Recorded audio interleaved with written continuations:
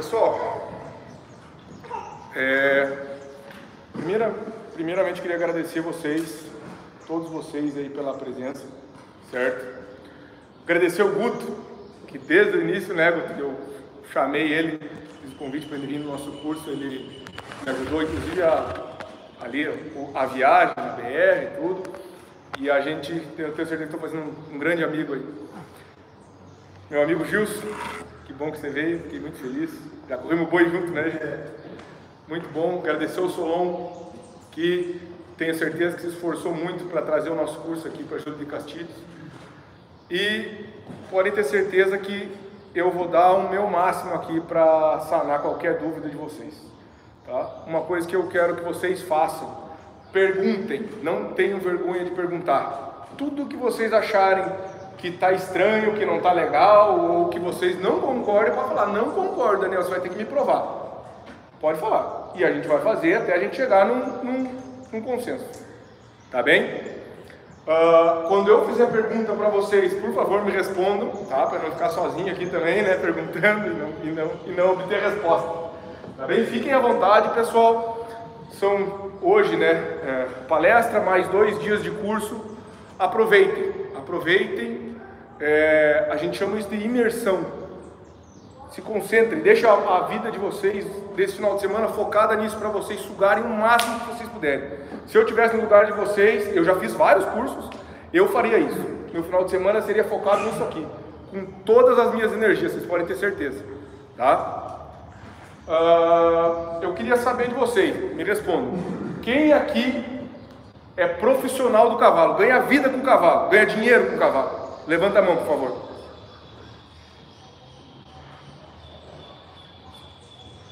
Quem aqui sonha em trabalhar com cavalo?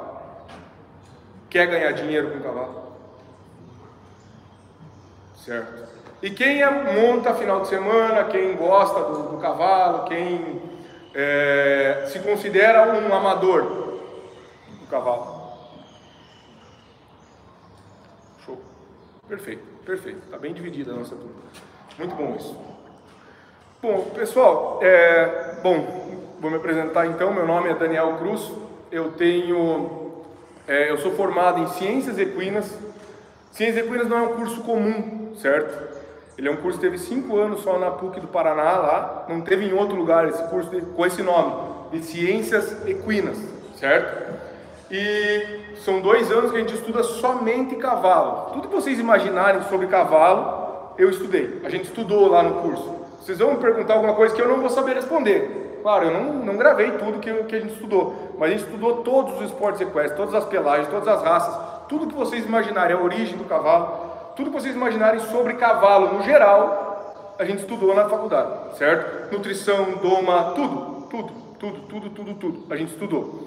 Tá? Então eu sou um hipologista. Hipologista é a pessoa que estuda cavalo, certo? Tenho 17 anos já de centro de treinamento, meu centro de treinamento no mesmo lugar, 17 anos, e trabalho com cavalos é, de forma remunerada há 19, 20 anos. Eu não, eu, não, eu não, lembro com que idade bem certo eu comecei a receber por uma doma, mas eu tinha ali por volta dos 16, 17 anos, certo? Então a gente é, vem já há bastante tempo trabalhando com cavalo e tendo, é, vamos dizer assim, mais bons resultados do que ruins.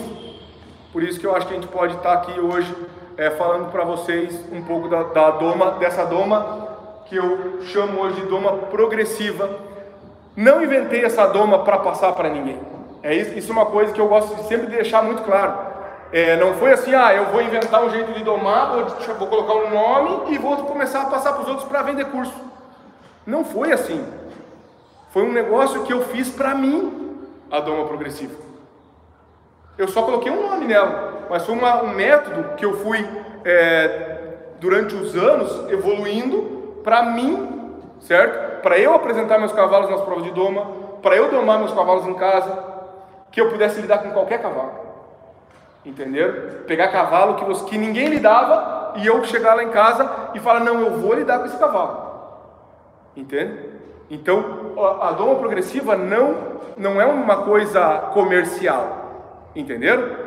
É uma coisa que ela, ela se moldou dentro desses 17 anos de treinamento, até antes, dentro desses 20 anos de experiência domando cavalo. Entenderam? Hoje eu tenho 36 anos, eu comecei minha primeira doma ali com uns 16 mais ou menos. Então já são 20 anos domando, certo? Então não é uma coisa comercial que eu fiz para vender, foi uma, é, um, é um método que eu fiz para mim e de repente começou a aparecer as, começaram a aparecer as oportunidades de passar para frente isso.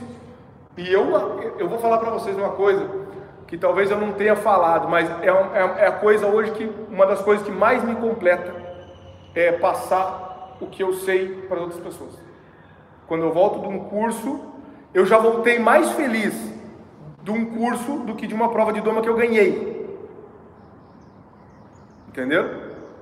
pelo resultado, porque quando você ganha uma prova de doma, você fica feliz, a tua equipe fica feliz, o proprietário fica feliz. Quando você dá um curso igual aqui, deve ter mais de 30 pessoas aqui agora, é, 30 pessoas, vamos dizer, são 30 pessoas que você está tocando, que você está ajudando. Não é você, você eu não, eu, é, não vou dizer que eu não estou ganhando nada, eu estou ganhando muito mais do que numa prova de doma. Mas ah, na prova de doma você você está tocando poucas pessoas, 5, 10 no máximo, e ganhou ali, pronto, acabou. E aqui não, aqui vocês levam isso aqui para casa de vocês, vocês levam, trazem o feedback de vocês. Vocês vão trazer o depoimento, pô Daniel, tinha meu cavalo lá em casa que eu não conseguia mexer e depois do curso eu consegui mexer. Isso é coisa que não tem valor no mundo, não tem dinheiro no mundo que pague.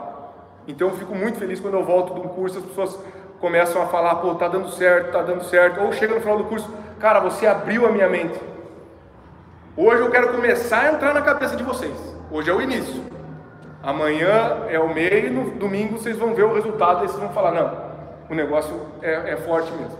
Tá? Mas eu quero entrar na cabeça de vocês. Venham com a mente aberta. Tá? E quem está com a mente bloqueada, por favor, vamos, vamos fazer desbloquear essa mente aí nesse final de semana.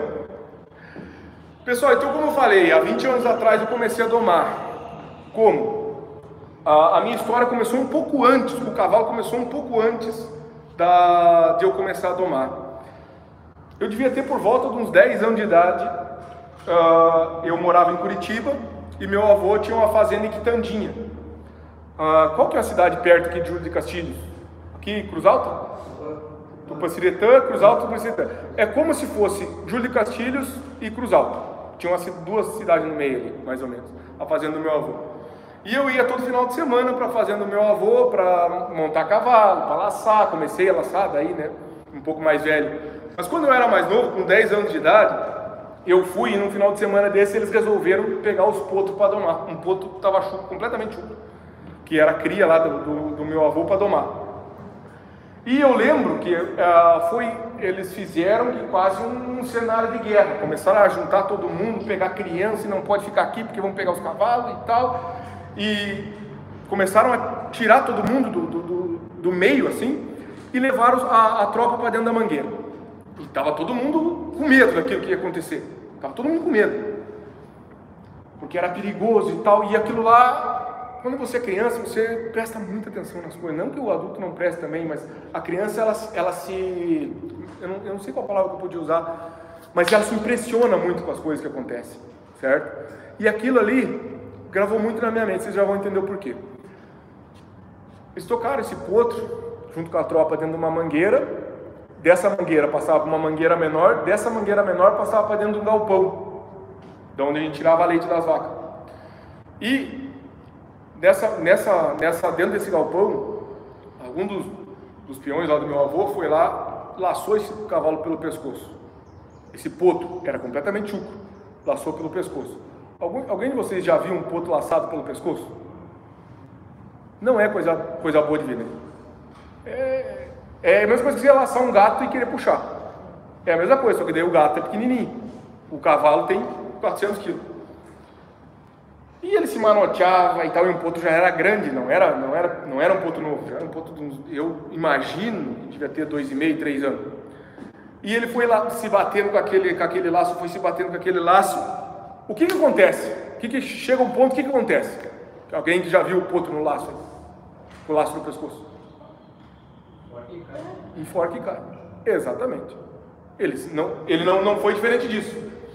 Ele foi se enforcando, se enforcando, se enforcando. Tinha um moirão no meio, assim, do, do galpão. Amarraram lá, ele foi se enforcando, se batendo, se enforcando, se batendo, se enforcando, se batendo, até o ponto que ele caiu. Quando ele caiu, eu lembro da língua dele roxa. E eu, eu achei que ele ia morrer, porque eu nunca tinha visto. Né? E daí os guris foram lá e colocaram o sal nele e conseguiram amarrar ele no, naquele moirão que tinha no meio. Não era na mangueira, esse moirão era dentro do galpão onde a gente tirava o leite. Bom, eu fiquei com isso aí na minha cabeça. Eu tinha ali uns 10 anos de idade. E daí ali, você olha aquilo e fica assim, meu Deus do céu, se for para domar um cavalo desse jeito, primeira coisa que eu pensava, eu nunca vou conseguir. Porque eu não tinha aquela habilidade do pessoal que, que, que lidava ali todo dia e tal, aquela, aquela lida ali. Eu não sabia nem laçar na época. Né?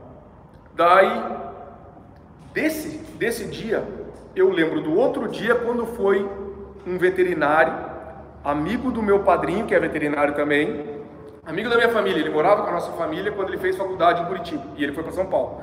E ele voltou e falou: Não, isso aí não faz mais. Isso aí não se faz mais para o cavalo lá. Agora a gente tem outro jeito de mexer. Ele pegou o outro potro, em questão de meia hora, esse outro potro já estava começado a se mexer. Já tinha cabresteado. Tá? Mas ele, em questão de meia hora, ele estava montado nesse potro. E era chuva. Eu conhecia o potro. Eu falei, daí eu criança, eu vi aquela primeira cena, daquele cavalo, sendo enforcado. Daí vi essa outra cena, desse cara que em meia hora pegou um potro e não conseguiu montar nesse potro. Para qual lado que uma criança vai? Não tem, não tem. É, é, é uma escolha lógica, você vai para o lado mais fácil. Eu vi na minha frente os dois resultados, o que, que, o que, que um fez e o que o outro fez. Assim, uma coisa que eu quero deixar muito clara para vocês: eu não vim aqui para mudar nada. Eu não quero mudar nada. Eu quero mostrar que existe uma maneira, que talvez uma maneira que seja mais fácil. É às vezes um cavalo difícil de vocês, com o nosso jeito, vocês conseguem fazer mais fácil. Não quero mudar nada, nada nada, nada. Entende? Eu quero somar alguma coisa no método de cada um de vocês. Se a gente for perguntar aqui um por um, o jeito que cada um mexe com o cavalo, cada um de vocês vai falar um método diferente. Ninguém vai ter o mesmo método aqui dentro. Você aprendeu com tal pessoa, mas, mas, mas você já mudou um pouquinho o método dessa pessoa. Você pode ter certeza. Ah, eu dou igual fulano. Não, você não doma igual ele, porque ele tem uma mão, você tem outra mão. Ele tem, usa tais ferramentas, você usa outras ferramentas. Então, todo mundo vai ter o seu método aqui dentro. E eu quero que vocês peguem o método que eu vou passar para vocês e somem o método de vocês. Que é o que eu fiz. Eu peguei vários métodos e montei o meu método sempre estudando. Só que sabe quem foi o meu maior professor? O cavalo. Não tem maior professor do que o cavalo. Todos os dias, isso eu nunca falei numa palestra, todos os dias, quando eu deitava, eu, eu, eu, sou, eu sou muito religioso, todas as noites, no caso, quando eu deito para rezar, eu falo, eu peço que, os, que o meu maior professor seja o cavalo e que eu possa aprender com eles. Todas as noites eu peço isso. E, e não tem o, o, o, eu, os professores, eu no caso, outros professores que eu tive, é, vários professores, depois eu nomeio para vocês, mas é, eu aprendi muito com eles. Só que quem que vai ensinar vocês no dia a dia é o cavalo. A gente só vai mostrar o método. A gente só vai levar vocês até a porta. Nós vamos sair do curso, vocês vão sair assim, ó. Cada um vai escolher uma porta e eu vou colocar a mão de vocês na maçaneta. Quem vai virar daí vai ser vocês. Vocês estão entendendo? Quem vai virar a maçaneta é quem vai montar cavalo mais, quem vai absorver mais coisa no curso. Entenderam? O curso não é para mudar nada de vocês, não é para mudar nada, nada, nada. É para somar com o método de vocês. Vocês estão entendendo? Entende? Porque tem muita gente que acha que a gente quer mudar, que é o melhor método do mundo e não sei o que. Não, pessoal, não quero mudar nada. Cada um é livre para fazer a escolha que quer. Vocês são livres para estar aqui hoje. E vocês são livres para na segunda-feira botar em prática, ou não. Ah, gostei disso aqui do Daniel. Vou fazer. Isso aqui é muito bom. Ah, isso aqui já para mim já não serve. Ótimo. Todo mundo aqui é livre para fazer o que quer em cima do cavalo. Entende? E vocês já estão um passo à frente porque vocês estão procurando conhecimento. E isso é muito importante. É muito importante. Fiquei muito feliz com o tamanho da turma aqui. Muito feliz mesmo. Vamos voltar para a palestra. Então, eu vi isso, essa questão desses dois potros e já comecei a moldar a minha cabeça. E eu sou um cara que fui criado no meu avô, era um, um homem muito tradicional. Muito tradicional. Seu Darcy Cruz. Muito tradicional. Meu avô só andava de bombacha, acredito que vocês, aqui no sul, principalmente aqui no Rio Grande do Sul, deve ter muita gente da família de vocês, só anda de bombacha. Meu avô era desses. Né? Só andava de bombacha e sempre de lenço no pescoço. Então ele era um, um, homem muito tradicional. Só que ele era um, um homem muito sábio. Ele começou a ver o jeito que eu mexia e ele começou a deixar. Porque ele viu que estava mais fácil o jeito que eu mexia do que o jeito que eles mexiam. E o resultado estava sendo melhor. Porque o que acontece? Não é isso que eu vou falar agora, não é aqui no Rio Grande do Sul, não é no Sul, é em relação ao Brasil. Eu estou andando no interior do Brasil, para quem me acompanha no Instagram, viu que eu fui para Mato Grosso, e São Paulo, coisa arada. Pessoal, o interior do Brasil é escasso em mão de obra boa para cavalo. É muito escasso. Você andou também, né, Jesus? Pessoal, o pessoal no interior, ou mão de obra boa no interior é muito escassa. Que fala assim, ó, sabe lidar com um cavalo, sabe fazer a leitura de um cavalo, sabe ver o que é um cavalo com dor. Você sabe ver o que é um cavalo com dor? Não, não, o cara não sabe. Sabe ver o que é um cavalo manco? Não sabe. Ele vai ver que o cavalo está manco o cavalo já não bota a mão no chão. Fazer um cavalo parar, as pessoas não sabem fazer um cavalo parar. Entende? Claro que eu não estou não, não tô generalizando, falando que é todo mundo. Eu tô, mas o interior do Brasil é assim. E daí, daí quando a pessoa não tem técnica, ela vai para que lado? Pancadaria. Acabou a técnica, você vai para a ignorância. Entenderam? É como se fosse uma discussão. Onde acabou o argumento, vai terminar onde? Briga. É isso que acontece. Entende? As pessoas não têm técnica e daí vão para a agressão. Entende? E é o que acontece com o cavalo. E se criou uma coisa, e não é aqui, não é aqui no sul, é o, é o interior do Brasil. Infelizmente é uma realidade. Entendeu? Que é só cacetada, não é só. Existem as pessoas que têm técnica, existem as pessoas que estão se moldando, que estão um pouco mais adiantadas dos outros, mas a, a grande parte das pessoas, teve dois alunos meus que vieram de Goiás, se não me engano. Chegaram lá em casa, foram olhar minhas ferramentas, os guris se apavoraram. Daniel, não tem nada aqui que corta. Olha a mentalidade. Não tem nada que machuca. Vocês estão entendendo? E outra, uma coisa que eu quero falar para vocês: todo freio machuca. Todo freio machuca. Se você quiser botar um bridão de argola na boca de um cavalo e machucar a boca dele, você consegue. Mas é você que está machucando, não é o bridão. Entenderam? É você que está machucando, não é o bridão. Se você colocar, vocês vão concordar comigo, colocou um bridão na boca do cavalo, ninguém mexeu, não corta, não machuca. Colocar um freio, é, um maluquinho que chamam, se colocar e ninguém mexer, corta. Então vai cortar a mão, a mão da pessoa que corta, entende? a mão da pessoa que vai, que vai machucar a boca do cavalo. Entende? Essa é uma das coisas que a gente tem que deixar muito claro. Assumir os erros. Somos nós que erramos. Nós que erramos não é o cavalo. Só que todo mundo que erra bota a culpa no cavalo. Mas isso eu quero falar mais para frente, deixa eu continuar, deixa eu voltar para a história. Quando eu tinha ali pelos meus 16 anos, já estava laçando, e todo mundo que, que, que, que lida com cavalo, todos vocês, eu tenho certeza, todos vocês, pelo menos 90% de vocês estão, Tenha, tenha vontade, por mais que nunca vá domar, mas todo mundo tem a vontade de domar o seu cavalo. Todo mundo tem. Ah, eu, um dia eu quero domar um cavalo para mim, eu quero tentar pelo menos. Duvido que vocês não, não pensem isso na cabeça de vocês. Por quê? Porque quando você doma o teu cavalo, é como se você estivesse comprando um carro zero. É teu. Só você andou nele. Entendeu? Por isso todo mundo tem a vontade, é um, é um desafio domar um cavalo. Entende? Por isso todo mundo tem essa vontade, não, eu quero domar, eu quero domar. Entende? Por, e eu, com 16 anos, tinha uma égua mansa, o que, que eu fiz? Fui trocar numa chucra para poder domar. Só que essa minha égua, essa égua chucra que eu fui trocar, ela já não estava bem chucra. Tinha um, um, amigo meu, que é amigo meu até hoje, o Gaúcho, que estava é, trabalhando lá da fazenda do meu avô e ele deu 10 galopes nessa potranca. 10 galopes, todo mundo aqui sabe o que é um galope? Aqui no sul todo mundo sabe, né? Um galope, uma encilhada.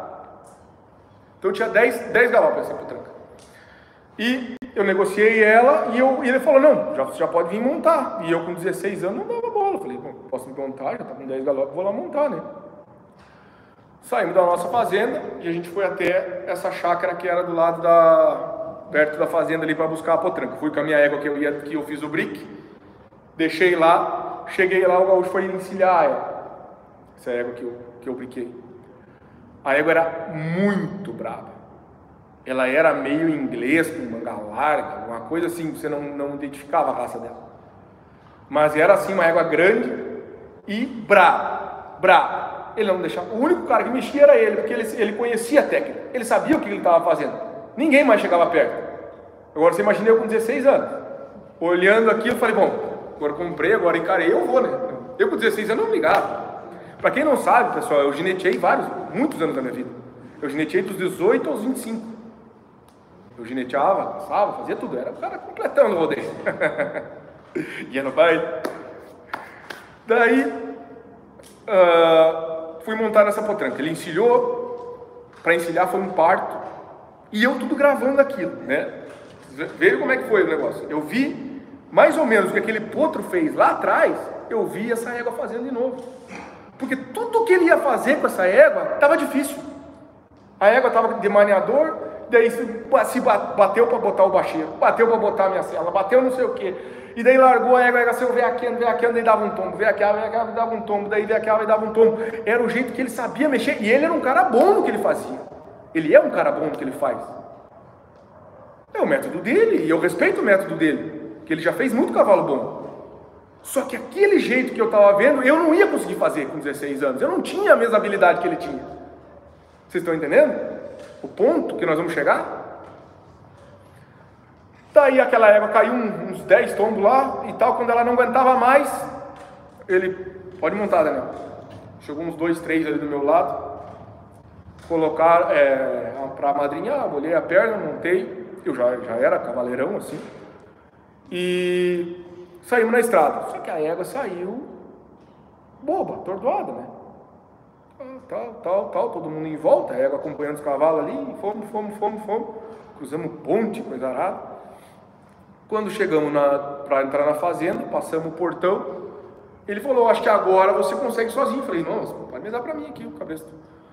E ele me deu o cabresto, todo mundo saiu, ela não saiu. O que, que eu fiz? Cutuquei. Quando eu cutuquei, aquela égua já tinha descansado. Ela voou da altura daquele lustre ali, mais ou menos. Me largou, foi só o primeiro pulo. Me largou embaixo do pé de gaviroba. Bem, tinha, era o portão aqui, os pés de gaviroba à esquerda aqui. Me largou embaixo daquele pé de gaviró. Mas eu nem vi. Quando eu vi, eu estava no chão já. Daí eu falei, não, vou me preparar melhor. Né? Pega ela de novo. Eles pegaram, trouxeram. Eu montei de novo, daí eu saí agarrado. Daí ela pulou comigo não, não, não me derrubou mais. Daí levamos ela para as casas lá e tal. Chegamos lá, isso era no final de semana. Na segunda-feira, eu estava sozinho lá. Claro que eu comprei nas minhas férias, eu estava morando lá, praticamente, com meu avô, porque senão eles vão perguntar, não, você não estudava em Curitiba? Eu estudava em Curitiba. Mas óbvio que eu, quando eu comprei ela para domar ela, eu estava na minha férias, estava na minha folga. Daí, vocês chamam de férias aqui do colégio? Fui lá, segunda-feira, eu estava sozinho para lidar com aquela égua, que aquele cara que tinha toda aquela habilidade lá, estava se batendo. Eu estava sozinho.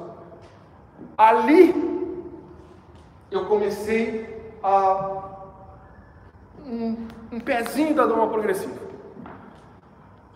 Eu, eu falei, eu não vou conseguir fazer tudo aquilo lá, que ele, nem as ferramentas que ele tinha lá, maneador e coisa lá, não tinha. O que, que eu vou fazer agora?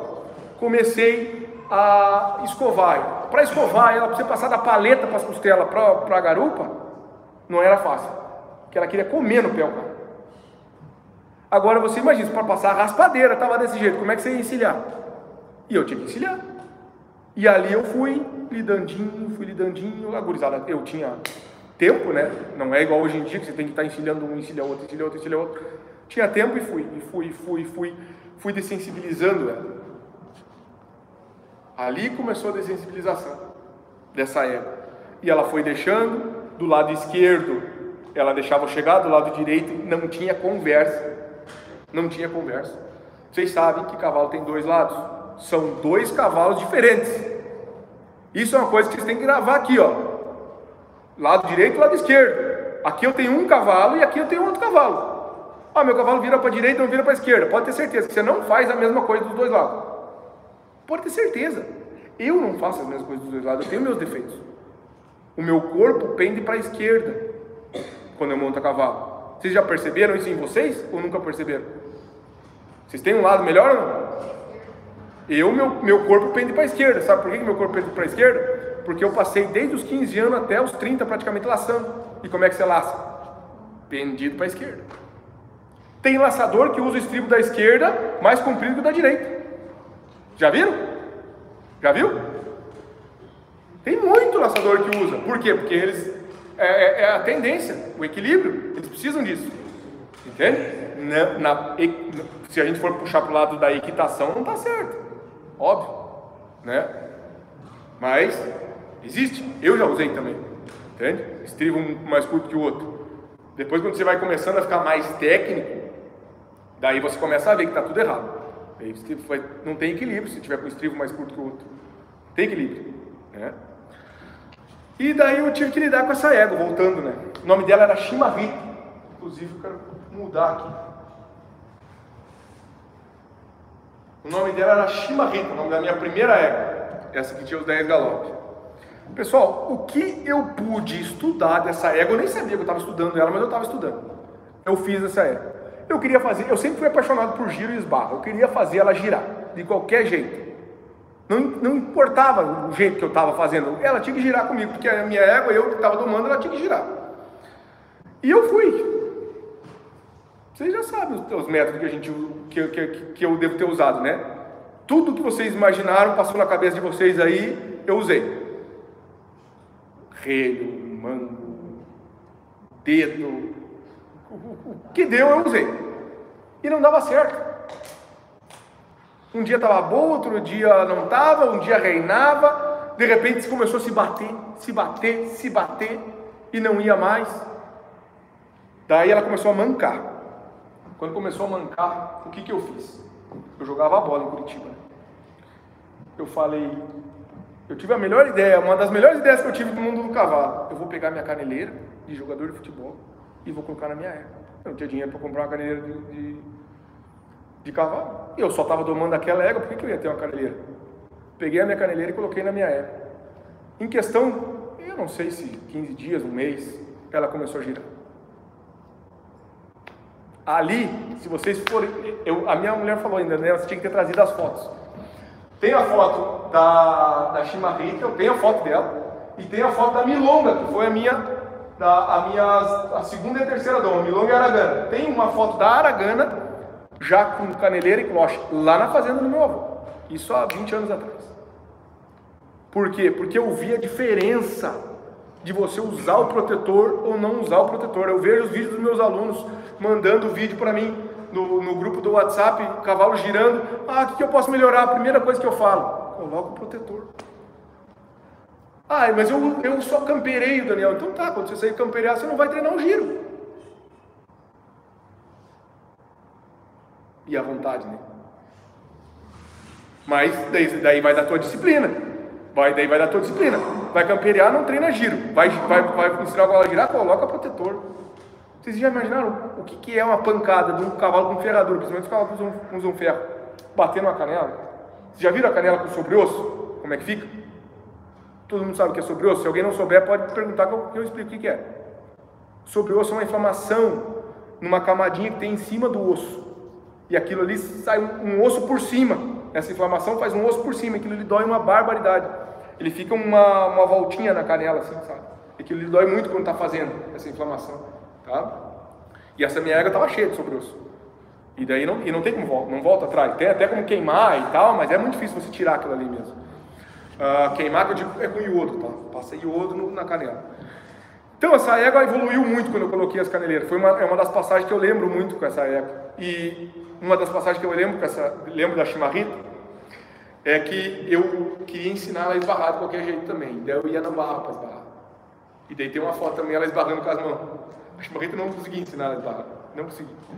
Não tinha. Não tinha técnica, eu não sabia ensinar a esbarrar, achava que era só puxar que ela tinha que parar e não conseguia ensinar a esbarrar. Girar, girou e ficou muito boa de laço, que era o que eu queria na época. Tinha que ter uma égua boa de laço. Essa égua foi a égua que me trouxe a milonga e a aragana. Por isso que eu sempre falo para quem quer começar a domar, quem quer começar a entrar nesse mundo, não começa com o cavalo dos outros, começa com o teu. Ou de um amigo teu, ou alguém que confie muito em você que você possa falar assim, ó, você vai dar para eu domar, vai correr o risco. Então tá, você sabe que eu estou aprendendo. Se eu precisar de um ano para domar essa égua, você vai me deixar um ano? Vai, então tá bom, então me dá, traz para cá. Entenderam? Porque vocês vão errar. Eu erro todos os dias. Eu erro todos os dias. Quando vocês vão ver no curso amanhã, ah, soltei a, a rédea na hora errada, fiz isso aqui errado, fiz isso aqui errado. Entenderam? Eu erro todos os dias. Todo mundo vai errar. E ainda mais quando você está começando, você erra muito mais. Sabe qual é a nossa sorte? Que cavalo perdoa. Porque mula não perdoa. Falo para vocês, mula não perdoa muito não. Você errou uma vez, uma vez que ela ganhou de você, a segunda vez pode ter certeza que ela, a reação dela vai ser muito pior. E daí para você voltar é muito difícil. A mula, o cavalo não, o cavalo você erra, erra, faz certo, daí ele vai dar uma brigadinha, de repente você mostrou certo, certo, certo, ele já faz certo. Ele, ele te perdoa muito mais fácil. Agora a mula não perdoa. A mula é bem mais complicada. Tá? Daí, da chimarrita veio a milonga, que era uma égua cor de milha, e a aragana, que era uma égua crioula, tá?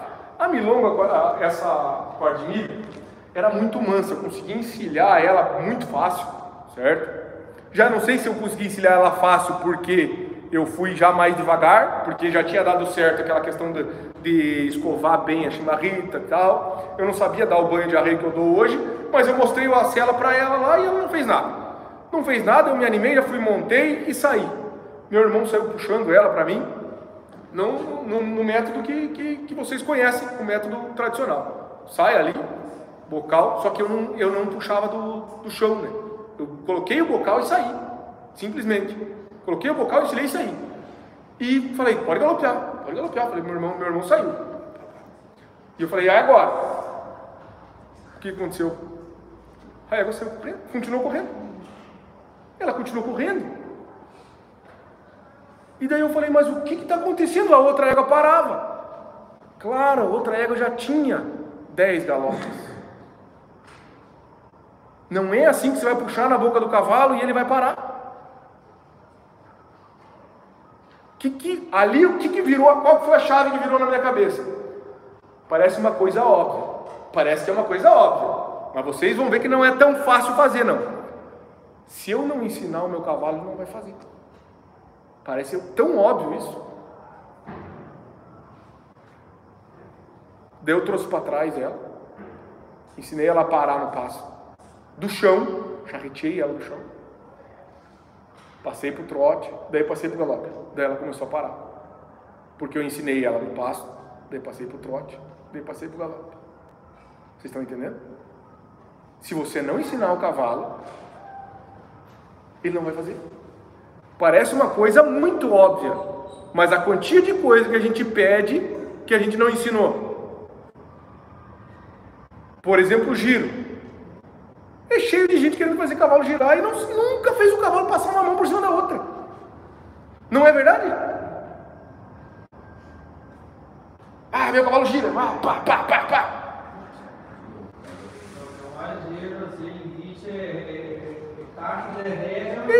Exatamente. Exatamente. Agora fala pro cara, gira devagar. Devagar. Sem usar essa mão. Acabou. Entenderam? Então, pessoal, só que o que, que acontece? Não ensinou a base. Não fez lá atrás. Então ali eu comecei a virar a chave. Falei, pô, tem que ensinar devagar para o cavalo fazer rápido. Você colocar pressão, tá?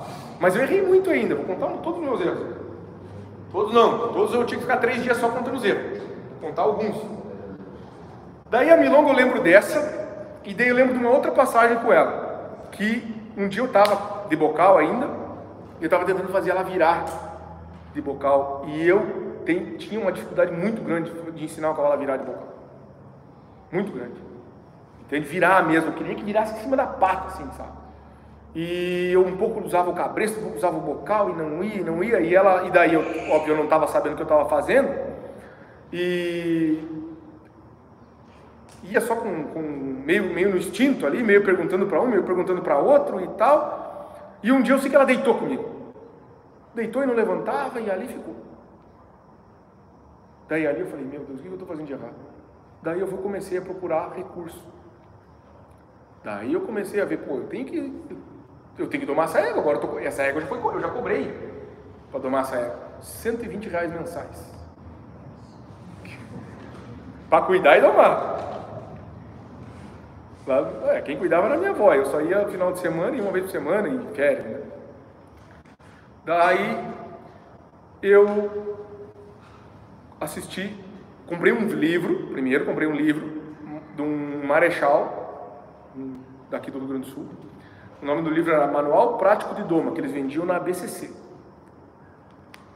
Comprei o livro e chegava pelo. Demorava, sei lá, um mês para chegar ainda. Naquela época não existia WhatsApp, você não comprava as coisas pela internet. Você tinha que ligar lá e fazer, e fazer a compra. Chegou o livro, comecei a ler o livro, e era um livro que mesclava muito o lado racional com a doma tradicional. Ele ensinava a, a lidar de bocal. E daí eu comecei a, usar o bocal e o cabresto junto ali para ensinar a virar e tal. Usava quatro rédeas, não sei se vocês já viram, quatro rédeas, você usa duas em cima, duas embaixo. E ali começou a desenvolver, ali começou a ficar legal. Daí tinha um monte de mãe ali dentro, de, de, de, dentro do, do, livro de encilhar, de, de puxar, ele charreteava os, os, bichos do chão. Bueno, e ali começou a desenvolver. E eu assisti um, um DVD, DVD do Jango Salgado. E ali começou a melhorar mais a coisa ainda. Dali eu comecei a falar, eu comecei a colocar as coisas do Jango junto com o método tradicional ali que eu, que eu sabia, aquele método que eu sabia. E dali que eu sabia, não, que eu estava aprendendo ainda, né? Eu não sabia, estava aprendendo. E com Aragana, essa égua crioula, foi uma das melhores éguas que eu tomei até hoje. A égua virou um fenômeno, errei muito com ela também. Mas a égua era muito boa, claro que porque ela era uma égua boa também, né? O pai dela, conhecia o pai dela, era um cavalo muito bom, muito manso, ela ficou muito mansa, ela foi campeã paranaense de rédea, de baliza. Era uma égua muito boa mesmo, laçava, fazia de tudo, égua de criança andar. Daí, essa, a milonga e a aragana, como a milonga foi uma égua boa de laço, a milonga não lhe girava, não esbarrava, não, sabia, não fazia nada, só sabia laçar. Mas era mansinha. A Aragana não, a Aragana já girava, já esbarrava, esbarrava muito bem, inclusive. Laçava, fazia tudo, foi, foi campeão paranaense de rédea, rédea que eu digo baliza, né? Baliza de rodeio.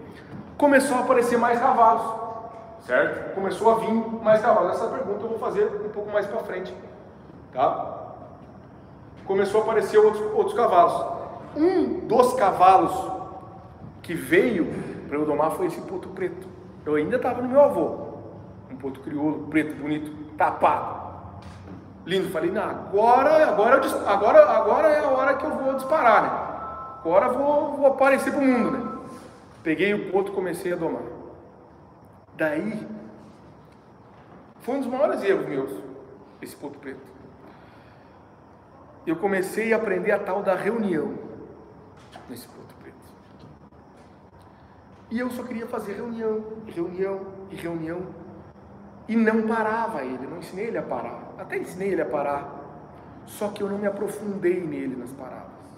Era tudo muito certinho, muito bonitinho. Eu não queria que a cabeça dele saísse do lugar. Ele era um cisne caminhando, era assim, ó. Assim. Só que eu nunca dei um tirãozinho na boca dele. Nada. Nada, porque eu queria que ele fosse perfeitinho. O que, que aconteceu com esse cavalo? Girava, fazia tudo, Tudo que vocês imaginavam o cavalo fazia, de técnica, ladeava e tal. Eu não me aprofundei nele. Ficou uma doma superficial. Foi um dos cavalos mais bocudos que eu montei na minha vida. Quando que eu vi que eu estava que eu tava com problema? Quando eu peguei esse cavalo, larguei na mão do meu amigo para ele laçar. Como eu, como eu sabia como que eu trabalhava ele, eu conseguia laçar nele. Mas mais ou menos assim. Mas daí um amigo meu foi laçar e eu falei, não, pode pegar esse cavalo aqui, pode laçar. E o meu amigo veio e recolheu e começou a empurrar ele, começou a empurrar ele. Ali a pouco ele encostou no freio e não, não reagia, não fazia nada, continuava com a cabeça assim. Só que ele chegou para mim e falou, ó oh, Daniel, não, tem, não consigo mais segurar. Está faltando força no braço. Viu? Falei, não pode, cara, está estragando meu cavalo. Primeira coisa que eu botei culpa foi nele. Né? Falei, não, está estragando meu cavalo, tá louco. Quando eu fui montar no meu cavalo em casa de novo, fui ali, não vou laçar para ver o que está acontecendo. O que estava combinado, estava jóia. Só que a hora que eu fui botar para derreter mesmo, que saiu o boi no brete, o cavalo me carregava. Falei, onde é que eu errei? Só que o que, que é a parte mais importante desse cavalo, para mim? Alguém sabe responder isso? Hum? Também. Treinei antes de domar, mas, mas para mim, qual foi o meu maior aprendizado? É, também. Não, mas assim, ó, pessoal, foi que eu assumi o meu erro. Você está entendendo? Eu assumi o meu erro. Eu não joguei a culpa no cavalo falando esse cavalo é uma merda. Esse cavalo é um bocudo. Vocês estão entendendo? Eu assumi o meu erro. Eu deitava na cama e ficava pensando: o que, que eu estou errando? O que, que eu vou fazer agora para voltar esse cavalo?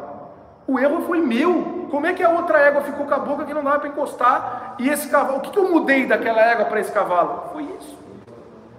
Esse cavalo eu queria ele muito perfeitinho desde o começo. Eu nunca fiz, nunca dei, nunca cobrei ele. Eu nunca cobrei. Daí a hora que, que foi para botar pressão, ele falou: Bom, essa pressão aqui eu não conheço, então eu não vou fazer o que você está pedindo. Entenderam? Então foi, foi, foi para mim foi um dos erros mais graves do, do, dos, dos cavalos que eu domei. E eu nunca vou esquecer desse cavalo por quê? Porque foi uma, uma das viradas de chave que deu para mim. Falei, não, tem alguma coisa errada. O eu é meu, não é, não é do cavalo. Bueno, dei uma melhorada nele. Daí nesse cavalo foi onde foi a transição do, da fazenda do meu avô para o meu centro de treinamento. Teve um grupo de pessoas lá que me contratou, eu entrei empregado lá. Não, não, era o centro de treinamento não era meu me contratou para eu tocar lá. Eu tinha 10 cocheiras, se eu não me engano, quatro cocheiras eram minhas, seis cocheiras eram deles, e eu recebia por cavalo lá para começar. E esse preto eu levei lá para casa, daí dei uma consertada nele, entreguei, mas não volta para trás. Não voltei, porque nunca, aquele cavalo nunca ficou com a boca leve, do jeito que eu, que eu queria mesmo, do jeito que, a, que eu gostava e do jeito que tinha ficado, por exemplo, as outras eras, porque eu não cobrei ele, entende? Nunca, não, não exigi, exatamente. Queria aquela coisa perfeitinha, ficou bonitinho para olhar, mas na hora que montava, não tinha. Girava pra caramba, parava, nunca esbarrou muito. Não era, não, nunca esbarrou por quê? Porque eu não cobrei. Entende? Ficava muito superficial, mas os giros e flexionamento, tudo, estava tudo muito bonito. Tá? Ali eu aprendi bastante. Uma coisa que eu falo, vou falar para vocês, quero que fique gravado, inclusive no YouTube. Flexionamento, flexionamento, gravem isso Flexionamento é para você melhorar um cavalo que já é domado. Vocês estão entendendo? Grave isso. Flexionamento é para você melhorar um cavalo que já é domado, para você melhorar o movimento. O flexionamento não ensina nada para o cavalo. O que ensina é pressão e alívio. Já respondi a pergunta que eu ia fazer. Como o cavalo aprende? Pressão e alívio. Você bota a pressão, o cavalo faz, você dá o alívio para ele. É assim que o cavalo aprende. Entenderam? Por isso que a gente tem que ter muito cuidado com o que a gente faz, principalmente na boca dos potros. Porque o potro novo, é o potro novo, ele tem uma cabeça que não, ninguém colocou nada na cabeça dele. Se você pegar um potro completamente chucro, tudo que você fizer, certo ou errado, a culpa é tua. É isso que as pessoas têm que começar a colocar na cabeça. Você fez certo? Ótimo, parabéns. Agora o potro começou a fazer alguma besteira, a culpa também é tua, porque só você mexeu nele. Vocês estão entendendo? O potro, se você pegar um potro completamente chucro, ele não tem nada na cabeça. Tudo que você colocar, tudo que ele aprender foi você que colocou. Cavalo no campo, pessoal, não avança. Cavalo no campo corre. Se você colocar um ponto desse dentro de uma mangueira e ele te avançar, é porque você passou da zona dele de conforto. Você está errado. Você colocou ele num canto. Se, se você entrar com um potro chucro dentro de uma mangueira, você tem que fazer força para ele te avançar. Você tem que fazer força. Vocês estão entendendo? Na natureza, o cavalo é o quê? Presa. A gente é o quê? Para ele te avançar, ele tem que falar assim: não, esse cara quer me pegar, então eu vou avançar nele. Ele quer me matar. Então, antes ele do que eu. Daí ele vai te avançar. Ao contrário disso, ele só vai correr. Ele só vai correr. Se ele não tem nenhum trauma, nada lá atrás, ele só vai correr. Se ele resolveu te avançar, é porque você passou do ponto. Por que cavalo tem cavalo manso de cocheira que um dia começa a avançar? Por quê? Teve um lá em casa. Vou contar a história para vocês. O rapaz veio para trabalhar, estava em fase de teste ainda. Ali, uns 20 dias depois, o meu outro funcionário me ligou: Ó, vem aqui nas cocheiras que o cavalo avançou no, no, no rapaz aqui. Eu falei: Mas qual cavalo? Tal cavalo. Eu falei: Não pode. Tá, cheguei lá, já, já fui bravo porque eu sabia o que tinha acontecido. Cheguei nele, ele, ah, meu braço, não sei o quê. Você foi bater no cavalo, o cavalo avançou. Você está batendo nesse cavalo. Olha a resposta dele. Hoje eu não bati. Vocês entenderam? Vocês entenderam? Hoje eu não bati. O cavalo é o seguinte, pessoal. O cavalo, tem o cavalo que vai aceitar apanhar uma semana, apanhar 15 dias, apanhar 30 dias. E vai ter um dia que ele vai falar assim: hoje ele não vai me bater. Hoje esse cara vai entrar na cocheira e eu vou arrancar ele daqui de dentro. Todo mundo já viu isso? Eu já vi milhares de vezes. Gente que conta a história lá. Ah, é, o cavalo me arrancou dentro da cocheira, o cavalo não sei o quê. Os caras, os o pessoal manda os cavalos lá em casa para consertar isso. E vou contar uma coisa para vocês: não tem conserto. Conserto de você zerar um cavalo que começou a fazer isso. Não tem conserto. O que, que acontece? Um cavalo desse, ele conhece essa trilha aqui, ó. Essa trilha, ele afundou essa trilha avançando nas pessoas. Ele já avançou em 20 pessoas, então ele conhece a trilha. Ele passou, sei lá, um ano, dois anos, três anos avançando nas pessoas. Tá? Ele afundou o carreiro aqui.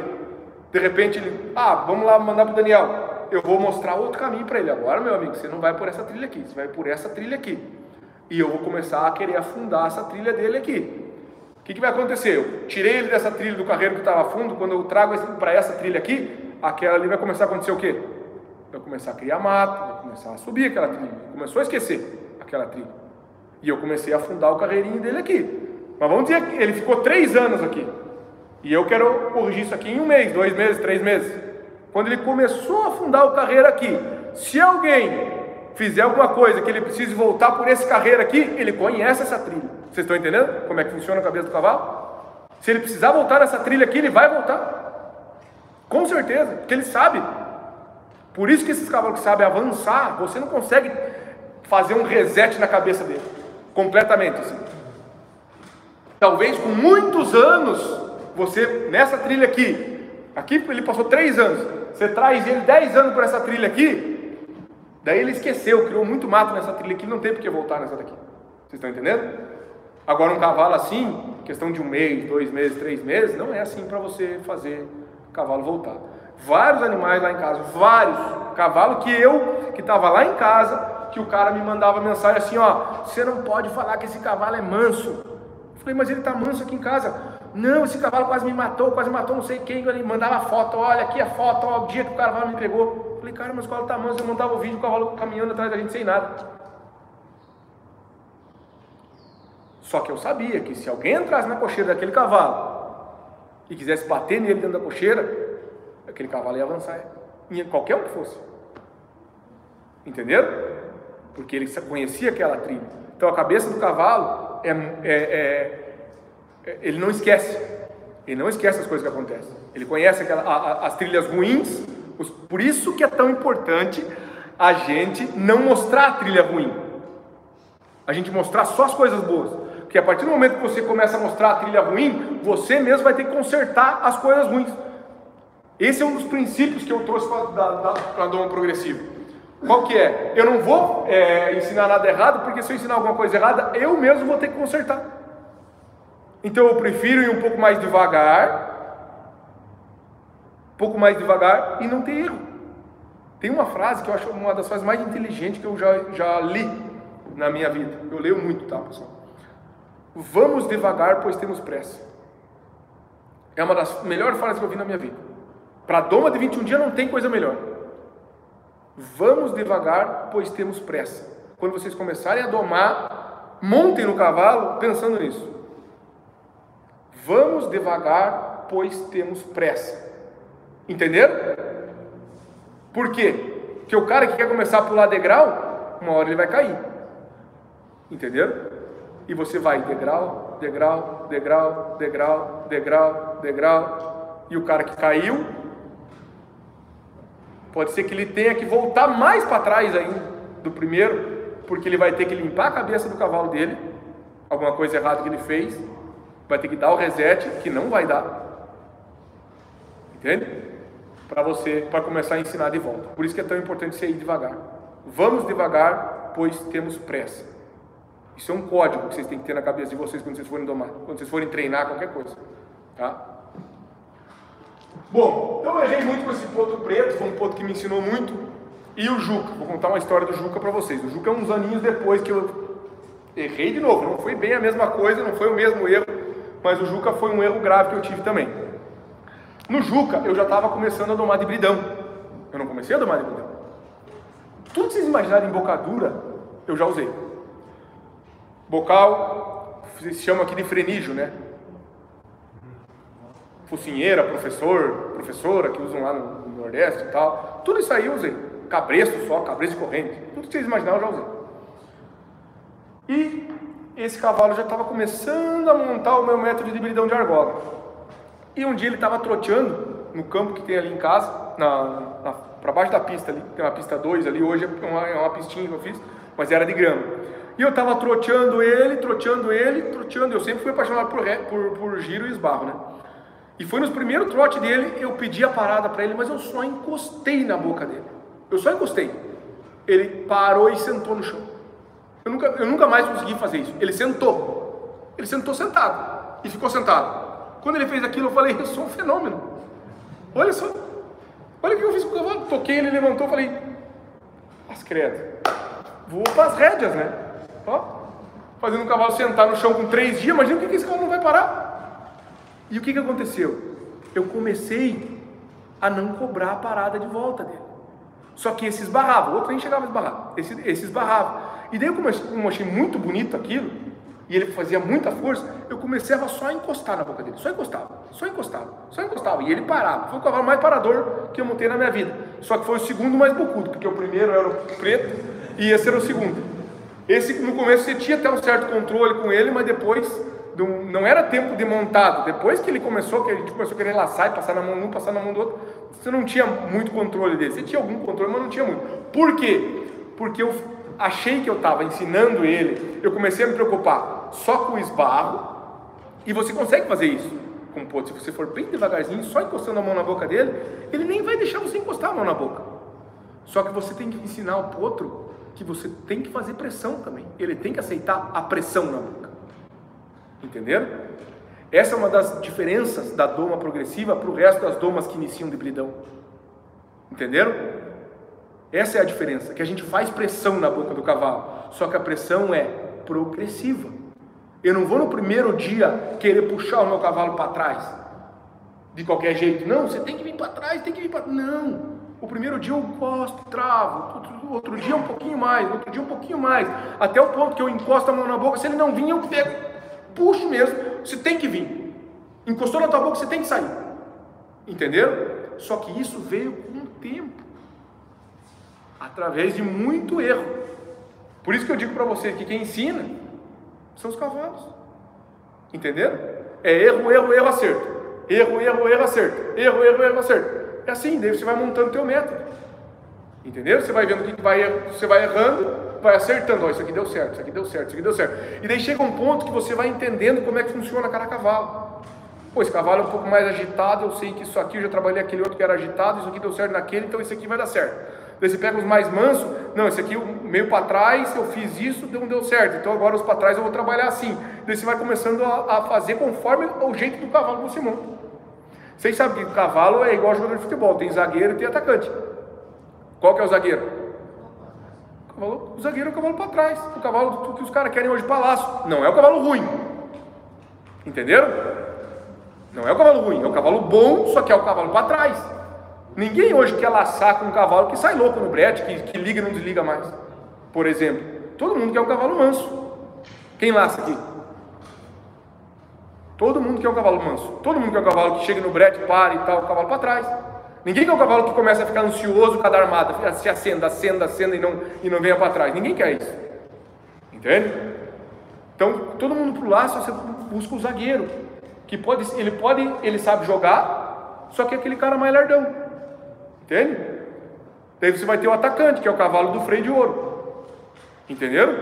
Que é o cavalo que você ele sai debaixo de você. Entende? Ah, tem o meio de campo também, tem, tem o meio de campo, que você consegue acelerar ele, voltar, trazer mais para trás, se você deixar ele manso, ele fica manso. Entenderam? Talvez o cavalo ideal seja o meio de campo. Se você quiser atrasar ele um pouco, você atrasa. Se você quiser acelerar ele, você acelera. Geralmente os atacantes, os mais difíceis de domar, são os atacantes, são os craques. Porque o craque ele tem a cabeça meia. É muito fácil você virar o fio do craque. Pode ver os problemas que tem no jogador de futebol. Vamos fazer a analogia com o jogador de futebol. Quem que dá problema no jogador, os jogadores de futebol que dão problema? Os atacantes, os craques. Pode ver. A maioria são os craques. Entende? Então, no, no, no, cavalo não é diferente. No cavalo é assim também. Você pega o craque, pô, não consegui domar esse cavalo, você vai ver, é um craque. Uma das melhores éguas que eu, não fui eu que domei, que eu, que eu treinei, credenciei, foi uma baia chamada Brenda da Rosa Azul.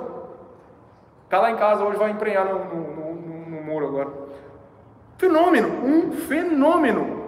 Chegou lá em casa, não virava para um lado, não conseguiram laçar com ela, porque é craque, era para frente, né? ela era toda uh, ansiosa, mas a ansiedade não, não. Nenhum cavalo nasce ansioso. É, é, é, essa é uma coisa que vocês têm que colocar na cabeça. Ah, meu cavalo não caminha. Se você montar num potro, você vai ver que o potro nem para frente não sabe ir.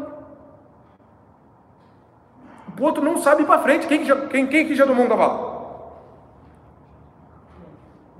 Quando você monta a primeira vez, o cavalo sabe, sabe ir para frente? Não sabe. Não sabe sozinho para frente. Você vai cutucar ele, vai ir para frente, vai sair para frente. Não sabe tem que sair para os lados. Ou, que é o que o pessoal faz. Eu não faço isso, porque, porque eu não quero criar um problema, porque se meu cavalo pular, primeiro, ele pode me derrubar. Segundo, eu posso estar criando isso na cabeça dele. Que toda vez que eu montar, ele tem que pular. Toda vez que eu montar, ele tem que pular. Por que, que existia aporreado antigamente? Muito mais aporreado antigamente. Porque ele aprendia a derrubar. Entende? Pegava cavalo com 4, 5, 6 anos, joga aquela égua com 14. Mas, credo, aquela égua velha no primeiro dia, se fosse montar nela de qualquer jeito. Nunca montava. Montava, claro que montava, mas achando que você cair numa égua daquela desse tamanho, a força que aquele bicho não tinha, passava o dia inteiro pulando. Ia ser a regravação do Tordilho Negro. É. é verdade. Então, pessoal, voltando aqui na, na, na, palestra, o Juca foi um. Vocês entenderam o meu erro do Juca? Deixei de novo muito superficial, não cobrei muito superficial, não cobrei. Tem que ter cobrança, tem que botar pressão. Só que você tem que saber a hora de botar pressão e uma coisa mais importante: qual, qual a pressão que, você, que o teu potro aguenta? Entenderam? Qual a pressão que ele aguenta hoje no estágio da doma que ele está? Talvez isso seja a coisa mais difícil. Qual, qual a pressão que o teu cavalo aguenta no estágio que ele está de doma? Ah, meu porco está no terceiro dia, eu já quero correr uma vaca? Não vai correr. Você pode até correr a primeira, mas na segunda ele está com a cabeça boa, ele não está sabendo, você não governa ele do jeito que você precisa governar para voltar na vaca. Entende? Então, vou cobrar um esbarro, quero que ele pare 5 metros no terceiro. Não vai parar. Entenderam? Então, você tem que, a pressão vem conforme a tua leitura de como o teu potro está se domando. Isso é muito importante, é muito importante vocês terem essa noção na cabeça, entende? Você não pode simplesmente colocar pressão, pressão, pressão, pressão, pressão, pressão, de repente espana, ah, meu cavalo tá, como é que você chama o cavalo quando fica bocudo aqui no cru, cru, não é cru? Queixo, não, queixudo sim, mas quando tá de bocal ainda? Esquentado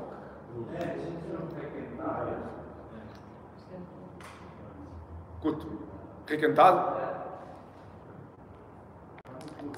Quando está cru? Quando está cru tá bom. Não, quando está cru tá ruim, né? Tá bocudo, né? É. Tá cru, né? Exatamente, é o que eu, que eu escutei sempre é cru. Né? Às vezes as pessoas, cada lugar, chamam de alguma coisa, né? Então, hum. Só que porque teve um... O cozido é bom.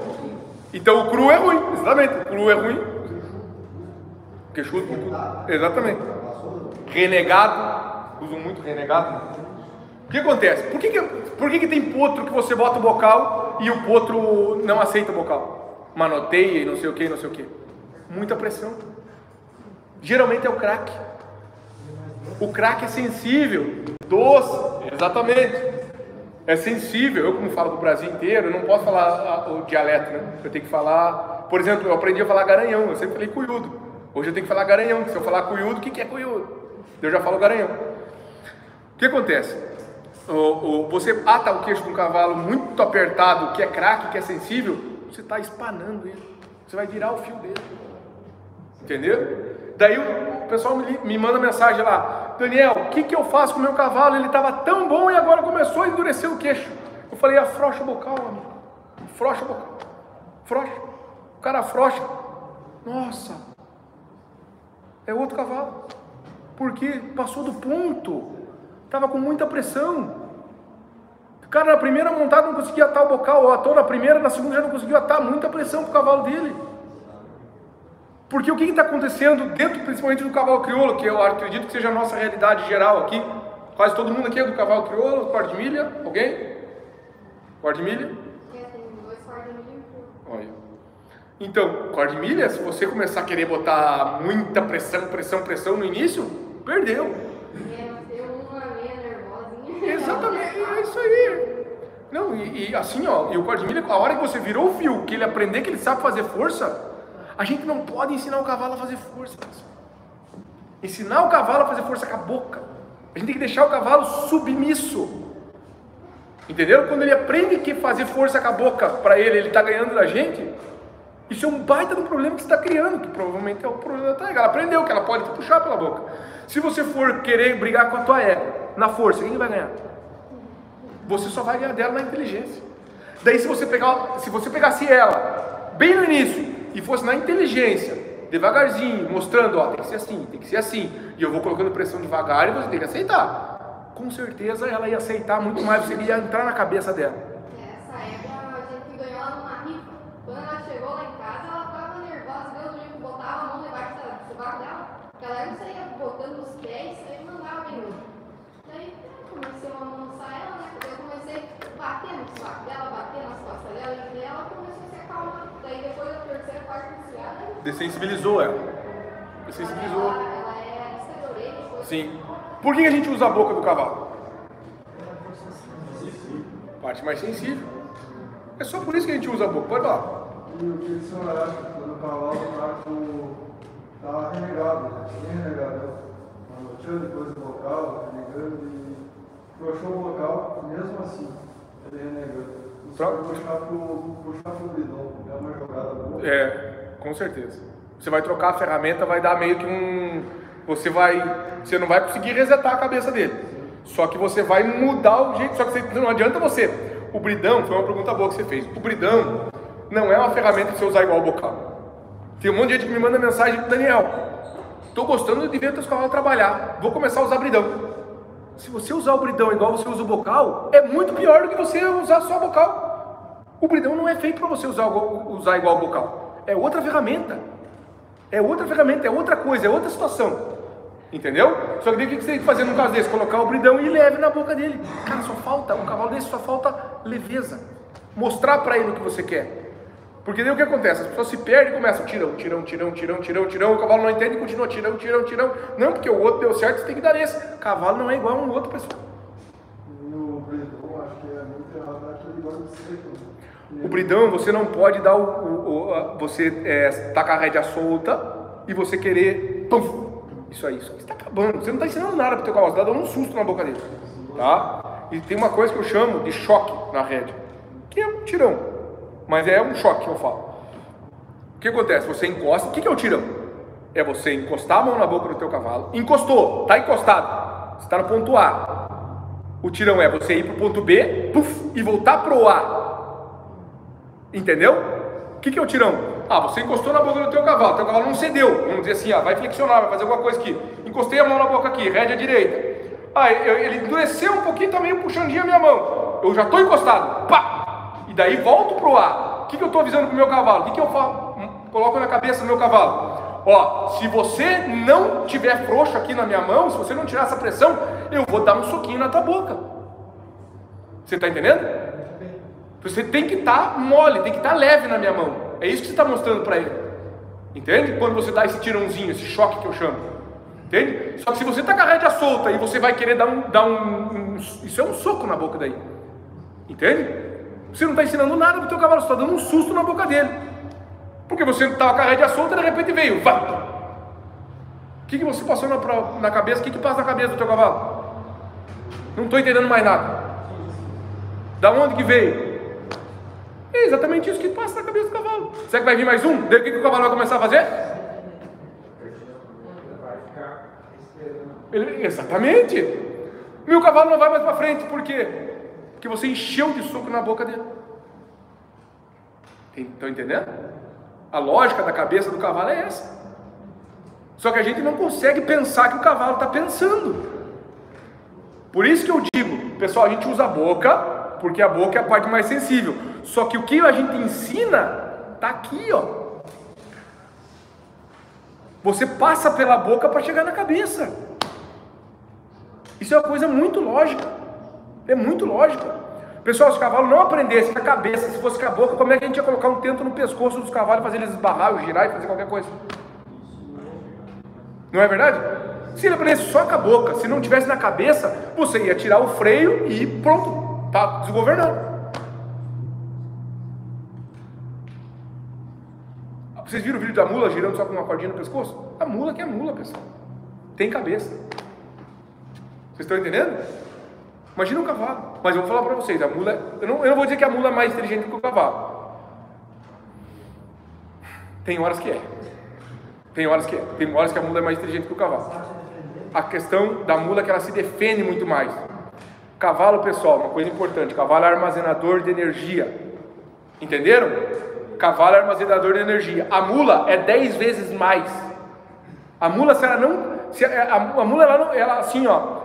Você tem que é, mostrar para ela que ela tem que trabalhar. Se você não for, não ensinar para ela realmente que ela tem que trabalhar, que ela tem que fazer, ela não vai fazer. Por que a mula empaca? Por que, que o pessoal não gosta de tomar a mula? Porque a mula é mais. Eu vou ter que falar, é mais inteligente que o cavalo. Em vários pontos ela é mais inteligente que o cavalo. Ela briga muito mais que o cavalo. O cavalo é mais sensível que a mula. Para você aliviar uma mula da boca, meu, não é assim. Deixar a mula leve mesmo da boca. Você tem que estar tá muito, muito claro na tua cabeça a questão do, do, da pressão e do alívio. Tem que estar tá muito, muito claro na tua cabeça. Se não tiver bem claro a pressão e alívio, se você soltar uma vez na hora errada, a mula ela já entendeu aquilo ali e é, é, que, é que na verdade não é que ela vai ganhar, é que você soltou na hora errada. Então para ela tá certo. Você entendeu como é que funciona na cabeça do cavalo? Às vezes a gente acha que o cavalo está fazendo errado. Não, mas é você que soltou na hora errada, você ensinou ele errado. Ele só está fazendo o que você ensinou. Ele não sabe o que é o certo e o que é errado. Vocês conseguem captar isso? O cavalo não sabe o que é o certo e o que é errado. Depois que eles vão ficando mais velhos, eles vão começando a ficar malando. Uma coisa que vocês têm que saber também, vocês têm que levar para casa. Cavalo testa a gente todos os dias. Quem já domou, principalmente cuiudo, testa a gente todos os dias. Desde querer sair num portão, desde ficar parado num brete, desde qualquer coisinha. Eles testam a gente todos os dias. Por que, que é melhor a gente largar na mão de uma criança um cavalo mais velho? Porque esse cavalo velho já testou muita coisa e a maioria das vezes, se ele for manso, quem estava montado ganhou dele ou mostrou a coisa certa. Então o cavalo mais velho ele testa menos, entenderam? Ele vai testar menos. O potro não. O potro vai testar aqui, vai testar ali. A mula, ela vai chegar naquele pilar, vai querer parar ali, ela vai querer parar naquele, vai querer parar naquele, e você vai ter que ir tirando ela. O cavalo não. O cavalo, ele pensa em parar nesse, você tirou, ele já vai. Essa é a diferença da mula para o cavalo. A mula, ela vai te testar 10 vezes mais do que o cavalo. E testa mesmo. Testa mesmo. Mula, o cara tem que ser assim, ó. Para lidar com as mulas, tem que, o cara tem que montar muito calmo e tem que saber o que está fazendo. Se for meio no instinto, na pancadaria, coisa arada assim, acabou. Acabou. Não, não faz, não tira, não faz nada. Ela não dá bola, ela não dá bola. Bom, continuando então. Ah, isso aqui eu queria passar para vocês, pessoal. É uma passagem que aconteceu na minha, na minha vida lá em casa, quando eu quase desisti de ser treinador. Treinador, tomador, lidar com cavalo. Por quê? Vocês lembram que eu falei que foi um grupo de pessoas que me contratou e me levou lá para casa e eu tinha seis cavalos deles e quatro meus? Teve um final de semana que eu fui ginetear no rodeio e esse pessoal foi laçar em outro. Quando eu voltei para casa, eu não tinha mais nenhum cavalo desses seis. Então eu tinha dez cocheiras e foi seis cavalos da noite o dia. Que eles tiraram do, do, do meu centro de treinamento. Imagina você, eu sustentava a minha casa. Estava eu, meu pai e um funcionário meu. Eu, eu já, você, quem, quem já trabalhou com centro de treinamento aqui sabe. Você tem as coisas certinhas, contadinhas, você tem o teu dinheiro, você vai gastar, você se organiza. E esses caras tiraram esses seis cavalos numa pancada. Eu fiquei sem nenhum cavalo. Sem nenhum não. Tinha quatro cavalos, dois era de um cara que ficava me devendo, pagava quando ele podia, e dois eu recebia.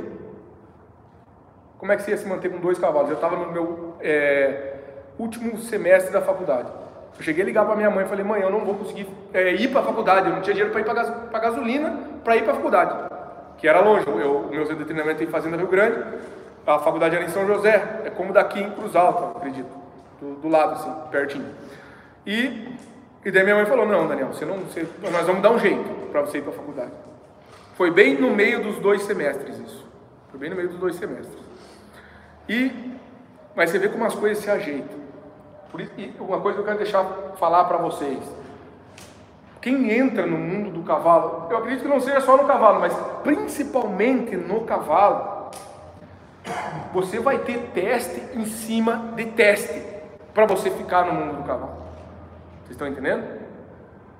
Quanta gente vocês conhecem que desistiram de lidar com o cavalo profissionalmente?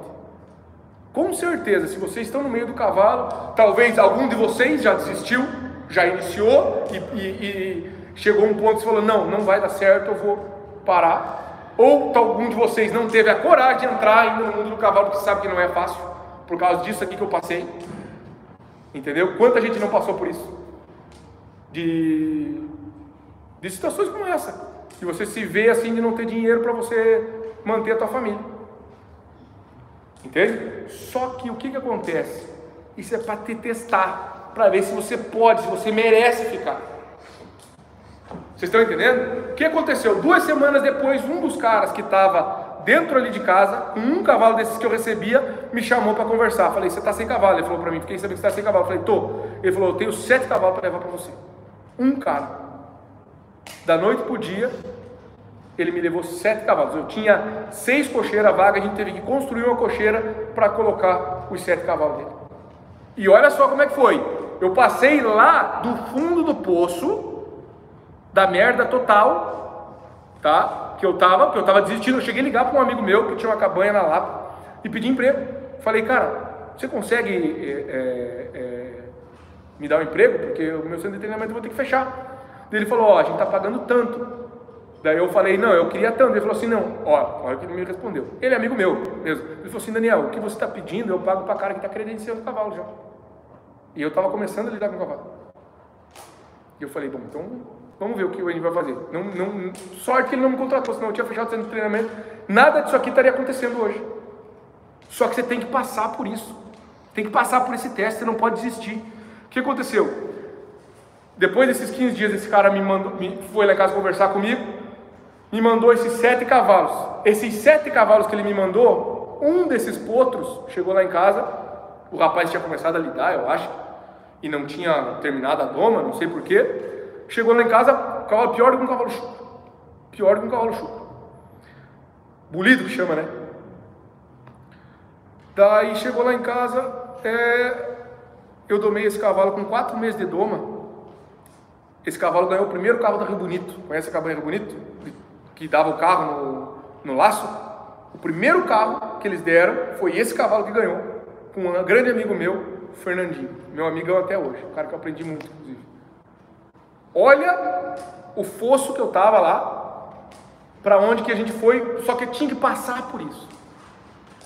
Vocês estão entendendo? Tem que passar por isso para testar o cara. Você vai ficar no meio do cavalo, então ó, é assim, ó. Vai ter gente que vai distrair. E se acostuma com isso aqui. Vai ter muita gente que vai distrair. Todo mundo que já deve ter passado por isso. No seu emprego, talvez. Que não seja do cavalo. Mas no cavalo é assim. E é assim, talvez seja pior que os outros empregos. Entende? Daí, o que aconteceu? Eu peguei esse cavalo, já espalhou a notícia, daí eles, os meus clientes, eles fizeram questão de falar, não, Daniel que deu um não sei o que, não sei o que, não sei o que. Pronto. Como que foi a evolução? Ah, um outro cavalo que ele me mandou foi o primeiro cavalo que eu credenciei, um filho do Sinuelo, P.O. Martigeiro. Olha o, o, como a reviravolta que deu.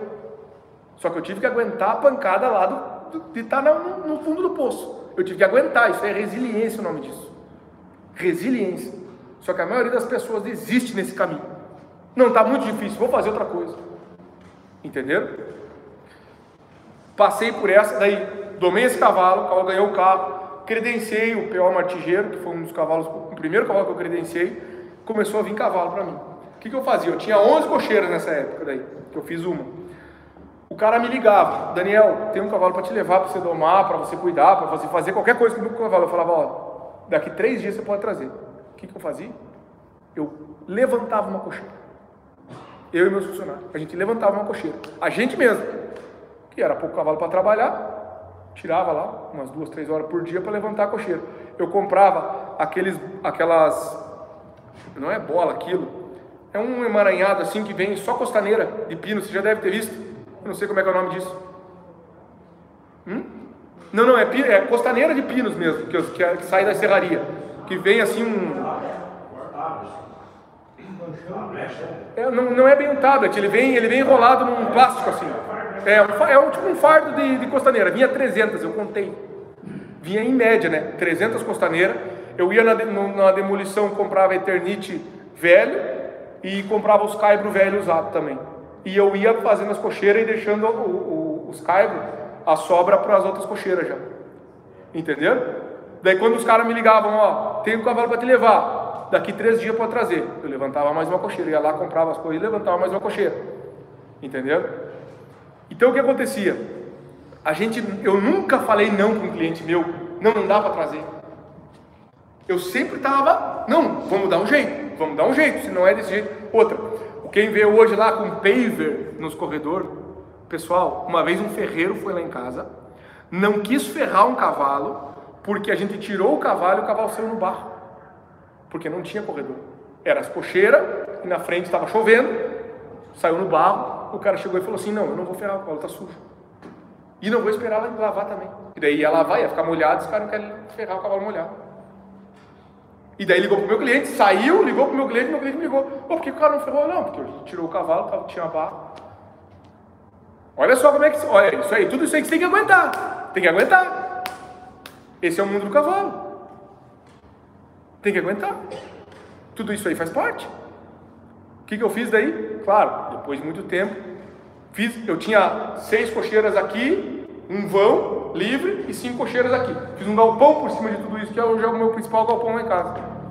E daí fui para não precisar tirar todas as cocheiras, a gente ia demolindo uma por uma e fazendo uma por uma embaixo desse galpão para não precisar tirar os cavalos de dentro. Então foi tudo muito acontecendo lá em casa. Só que você não pode esmorecer. A pessoa que esmorece, ela desiste. Resiliência. Quem aqui acompanhou a história do meu tombo? Você viu? Viu? Viu? Viu? Viu? É, aquilo ali. Quantos de vocês tinham coragem de ir numa prova na mesma semana? Tava todo mundo tirando sarro de você na internet, todo mundo. Teve um comentário no Facebook que eu vi.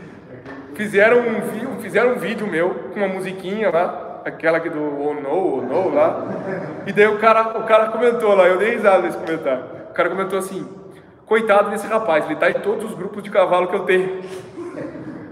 E o cara nem era, o cara era lá de São Paulo, não sei de onde. Vocês estão entendendo? Então essas coisas acontecem. Só que se eu fosse um cara que não, que não desse a cara para bater, quem aqui nunca caiu num cavalo? Por que, que fizeram isso comigo?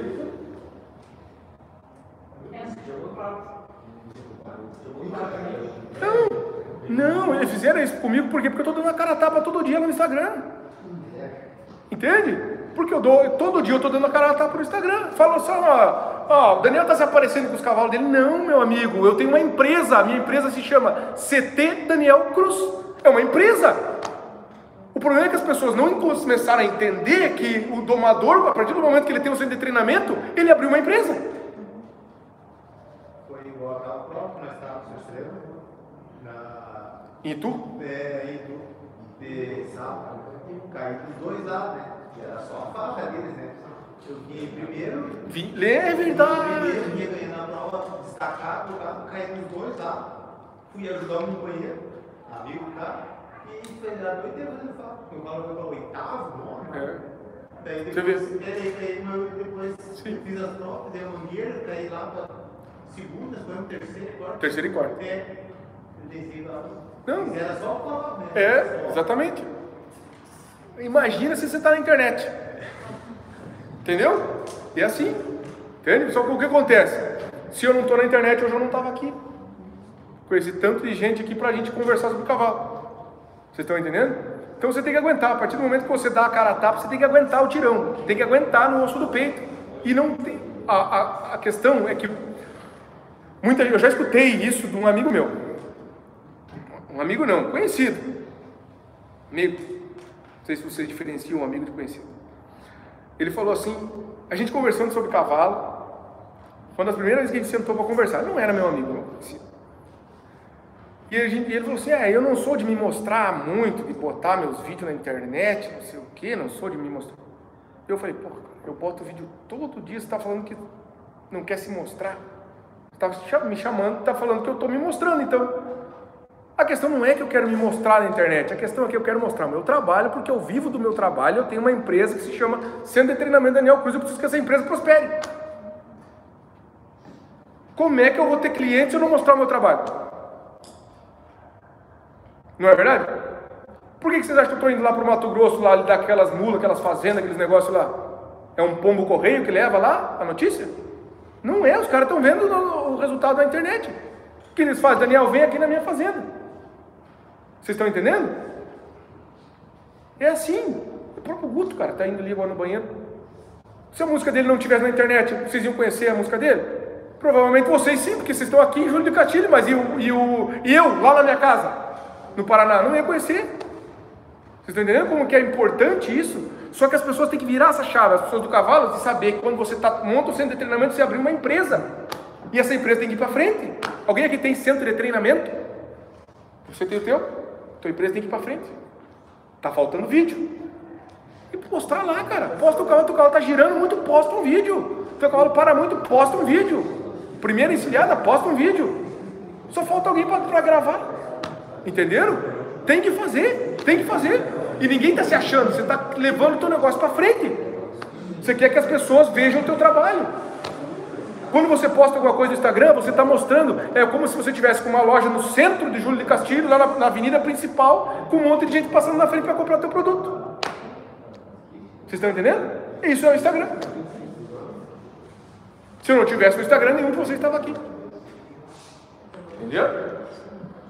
Então, pessoal, quem vai entrar no meio do cavalo, você tem que ser. A, a, a questão é a seguinte: eu escutei uma, uma frase de um amigo meu, que é veterinário de cavalo. Ele olhou para mim, ele perguntou para mim: Você gosta de cavalo, Daniel? Quem aqui gosta de cavalo? Levanta a mão. Quem aqui quer trabalhar com cavalo? Vocês não têm que gostar, vocês têm que amar. Vocês estão entendendo? Amar. Porque se vocês não amarem, vocês vão desistir no meio do caminho. Vocês estão entendendo? Eu conheço um monte de amigo meu que começou, quis montar centro de treinamento e não sei o que, não sei o que. Começou, começou, começou.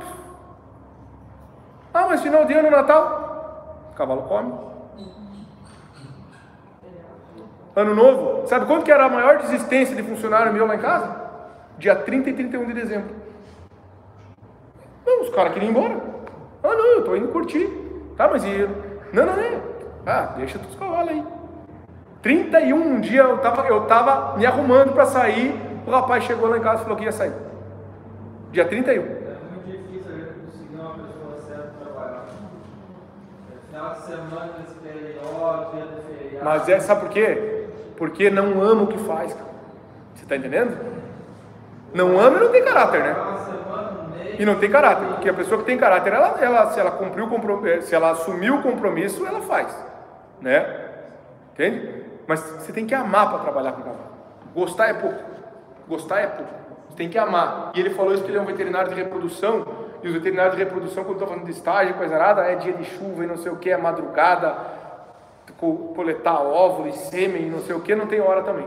Entendeu? Então, é muito complicado. Então, você tem que amar. Se você quer lidar. Aí é uma coisa para vocês se decidirem. Não, eu quero fazer o curso, eu eu vou fazer o curso para começar a trabalhar com cavalo. Vou pelo menos testar trabalhar com cavalo. Eu amo isso que eu vou fazer, então eu vou. Se, não, se você só gostar, nem, nem, nem começa. Nem começa. Vamos lá. Ó, pessoal, domar não é treinar. Isso é uma coisa que eu já falei para vocês por causa desses meus erros, do Juca e, da, e do, do Preto. E até hoje eu tenho que ficar me cuidando. Ah, mas você vai falar, Daniel, mas teus potros giram. Teus potros giram, você treina. Não treino, meus potros viram. Eles viram, eles não giram. Eles viram da forma correta. Porque eu começo a ensinar meus cavalos a virar passando uma mão por cima da outra. Eu começo de dentro para fora. Entenderam? Eles começam a virar já cruzando uma mão por cima da outra. Se ele não cruzar uma mão por cima da outra, não está certo, eu não dou alívio para ele. Passou uma mão por cima da outra, alívio na hora. E o potro está com a cabeça bem fresquinha. Ele aprende assim, ó. Vocês estão entendendo? Daí ele começa a passar com 5, 6 dias, 10 dias, estão girando. Mas não é que eles giram, eles viram muito bem. Então o giro é um bônus de uma virada boa. Entenderam? Qualquer um de vocês que montaram nesses meus pontos que giram, vocês vão ver que vocês vão dar de rédea e eles vão virar. Entenderam? Não é um giro técnico, é uma virada boa. Daí a, a sequência qualquer, é o giro. Entende?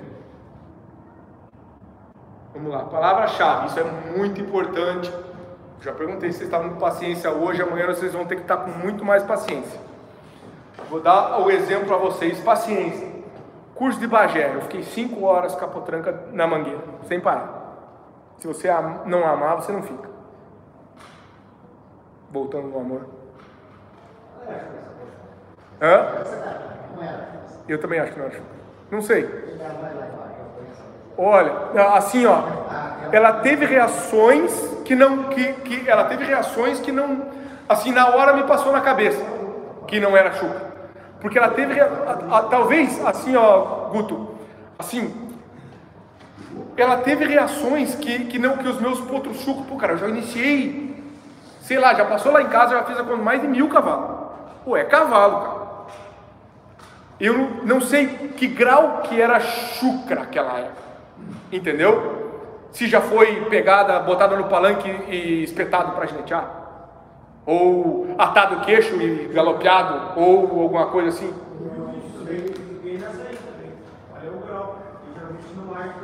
Por- exatamente, porque assim, ó, pode falar. Não, porque eu peguei uma toda do Chico, filha do Farrapo, e essa época, não sei, passa lá do pialo e coisa, para mim tinha pialo. Ela, mas olha, uma tristeza, pialo. assim, ó, ela, ela tinha muito medo, entendeu? E o chucro, ele, o chucro, não, não vou dizer que ele que é a- o chucro completamente chucro ou o chucro que foi colocado, só foi colocado cabresto, vamos dizer uma vez, assim, não foi muito lidado. Aquela reação não é normal. Toda vez que eu ia chegar perto dela, eu não podia mexer o meu braço. Eu respirava forte, ela se assustava. Se eu fizesse assim, ó, nossa senhora! Então, foi, foi, um, foi, foi o maior desafio. Se perguntar, Daniel, qual foi o teu maior desafio até hoje? Foi lá em Bagé. Por quê? Porque, pô, você vai dar um curso em Bagé. O pessoal já fica meio assim, né? Pô, o que, que você vai ensinar em Bagé? Né? Você vai ter que mostrar o teu, o- teu método lá em Bagé. De repente você pega um cavalo dificílimo. Foi a mais difícil que eu peguei até hoje. Depois que ela se entregou, foi a mais fácil. Não veio mais nada, nada, nada. Deu uns pulinhos ali, mas bem perto do que já vi o cavalo pular. Deixou montar, não pulou. Deixou mexer na boca. A mexida da boca também não foi a mesma. Eu sei a reação que meus cavalos têm. Olha só, vou contar a história para vocês. Mais uma, né? Chegou um ponto lá em casa de uma, de uma família lá que são meus amigos, assim, ó, meus amigos do coração agora. E eles levaram dois potos para eu domar. Uma potrancabaia, que você já deve ter visto, uma potrancabaia bem giradeira, que eu posto os vídeos lá de vez em quando, assim, mas é um gato ligeiro. E o devoto do Bambaé. Esse cavalo chegou lá em casa como chucro. Olha como a gente sabe o que está fazendo. Olha como eu conheço o método. E eu comecei a montar nesse potro e eu vi que as reações dele não eram as mesmas. Montado.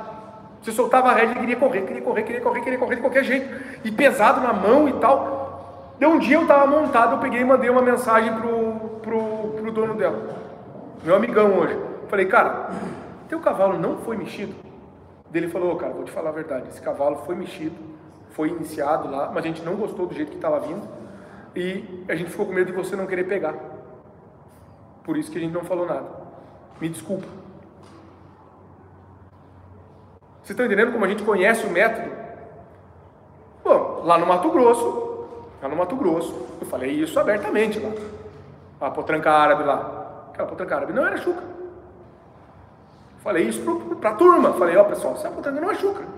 Ela teve, o- a parte do chão foi totalmente chucra, um bicho chucro. Eu não tive dúvida. A hora que foi para colocar o freio na boca, não é as reações. Eu sei o que o cavalo, o cavalo faz. Eu sei qual é a reação. Todo, é, é meio que um, é um padrão. Entende? O cavalo dá uma para e tal, não sei o que e tal. De repente o cavalo começa a querer jogar a cabeça muito para cima, começa a querer puxar tua mão, começa a querer não sei o que. Fala, não, calma aí, então esse cavalo já tem alguma coisinha na cabeça dele. Então já foi mexido. Aqui já foi mexido, ali já pode ter sido mexido. Sabe?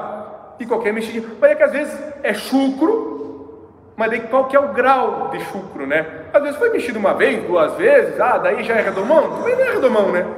Então, é um meio mal polido, não sei como é que se chama daí. Mas é mais ou menos isso aí. Entende? E lá não, a égua lá do Mato Grosso tinha cala aqui, ó. Do levantador. Entende? Daí eu falei, eu falei pro pessoal do curso, falei, pessoal, essa égua já foi mexida, tá aqui, tem calo aqui e calo aqui. Abri o base, tá aqui, ó. Tem calo aqui e calo aqui. Mas tá sendo muito bom para vocês verem, porque ela tá tendo reações pior do que o cavalo chuco. Então vocês estão aprendendo do mesmo jeito, melhor ainda, porque a reação é pior. E o curso ficou, andou numa boa. Mas você, você, você fica meio assim, né? Pô, cara, o cavalo não é chuca, sabe? Mas o curso andou, o pessoal gostou, aprendeu pra caramba, foi, foi muito bom. Inclusive nós vamos voltar pra lá agora. Agora eu vou falar assim, ó, chucro, com letra maiúscula. Mas foi legal, foi legal, foi legal. Mas é assim, mas eu falei, eu contei essas histórias para vocês verem como a gente conhece as reações dos animais. Entende? Às vezes é melhor o cara falar, ó, meu cavalo já fez isso, isso, isso. Até aqui ele já fez. Começa de novo para você ver aí como é que, que ele vai fazer. Entende? Então, pessoal, paciência. A questão lá do curso de Bagé que eu falei para vocês, 5 horas. Eu cheguei, deu meio-dia, meio-dia e meio. Cheguei pro pessoal e falei: Ó, seguinte, pessoal, eu não saio daqui de dentro dessa pista enquanto eu não pegar essa égua. Se vocês querem, quiserem ficar, vocês ficam, solzão. Daí o pessoal se olhou, se não, falei, vão almoçar e podem voltar para cá que eu vou continuar na lida aqui. O pessoal falou, não, vamos ficar por aqui. Trouxeram um pacote de bolacha, começaram a comer ali, tomar água e coisa nada e, e tocou. O pessoal foi muito parceiro lá. Inclusive, abração, Tina. Não sei se vai ver esse vídeo um dia. Um abração. Obrigado por me contratar. É, então, pessoal, a questão do amor que eu falei para vocês, se você não gostar, se você não amar, você vai desistir. E se você não confiar no teu método, você desiste também. Não, tem, não é verdade? Se eu não confiasse no método, eu tinha ficado lá cinco horas para pegar. Para pegar não, não foi cinco horas para pegar. Cinco horas foi de pegar, botar cabresto, de sensibilizar, encilhar, mexer, fazer toda, toda aquela nossa primeira fase. Se você não confiar no método, você vai falar assim, não, me traz outro, vamos mudar de cavalo. Não, esse aqui não vai dar. Imagina a vergonha. Imagina a vergonha. Você ir daqui, cruzar 1.700 quilômetros para chegar lá e mandar trocar de cavalo? Não, né? Não, aí não dá. Aí não, falei, não, eu vou pegar. E eu só falava assim, ó, pessoal. Pessoal, se, se alguém ver esse vídeo, eu quero que vocês comentem. Eu só falava assim, vai valer a pena. Só falava isso para eles. Vai valer a pena. E tinha um cara que fez o curso online. Alguém que fez o curso online? Olha aí, ó. Ah, tinha um cara que fez o curso online lá e, e só dava risada. E, e cutucava os piá vai valer a pena, ele falava. E os piá já estavam meio assim, né? Assim, não dá certo. É a primeira coisa que você vai pensar, não estava dando certo, né? Só que eu, eu via que o negócio estava progredindo, mas assim, ó, era milimétrico o negócio. Era milimétrico. Até eu conseguir chegar e encostar na cabeça daquela égua, pelo amor de Deus. Levou duas horas. Então tem que ter uma paciência, que é a palavra-chave, disciplina, progressividade, porque foi milimétrico o negócio que você não via, e a tolerância. Por que, que eu coloquei essa palavra tolerância? Essa eu aprendi lá no Uruguai. Tolerância, porque você tem que ter tolerância quando você monta num potro chucro, por exemplo. Você tem que saber que você está montado num potro chucro. E a gente às vezes distorce isso. Às vezes não direto, pessoal. Você monta num potro, você acabou de montar num cavalo domado. Você monta no potro, você quer que ele faça próximo do que o cavalo domado faz e não vai fazer porque ele não sabe. Então ele tem que tolerar os erros do potro. Entende? E saber entender se ele está errando porque ele é um potro ou se você que está fazendo a coisa errada. Vocês estão entendendo? Se você que está fazendo a coisa errada. Tá? Disciplina, pessoal. Disciplina, para mim, o que, que vai diferenciar vocês um do outro aqui? Quem que vai ter resultado aqui? É aquela palavra ali. Na verdade, são as quatro juntas. Quem tiver essas quatro, quem juntar essas quatro palavras, vai ser o, o melhor dos melhores aqui da nossa turma. Mas para mim, a principal, a principal é a disciplina. É a disciplina.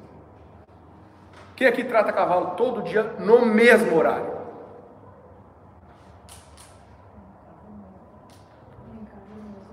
É no mesmo horário? Sempre, olha aí. Exato, né? Mas é geralmente às 7 horas. Sim. Isso você já começou com a disciplina. Entende? Cavalo é rotineiro.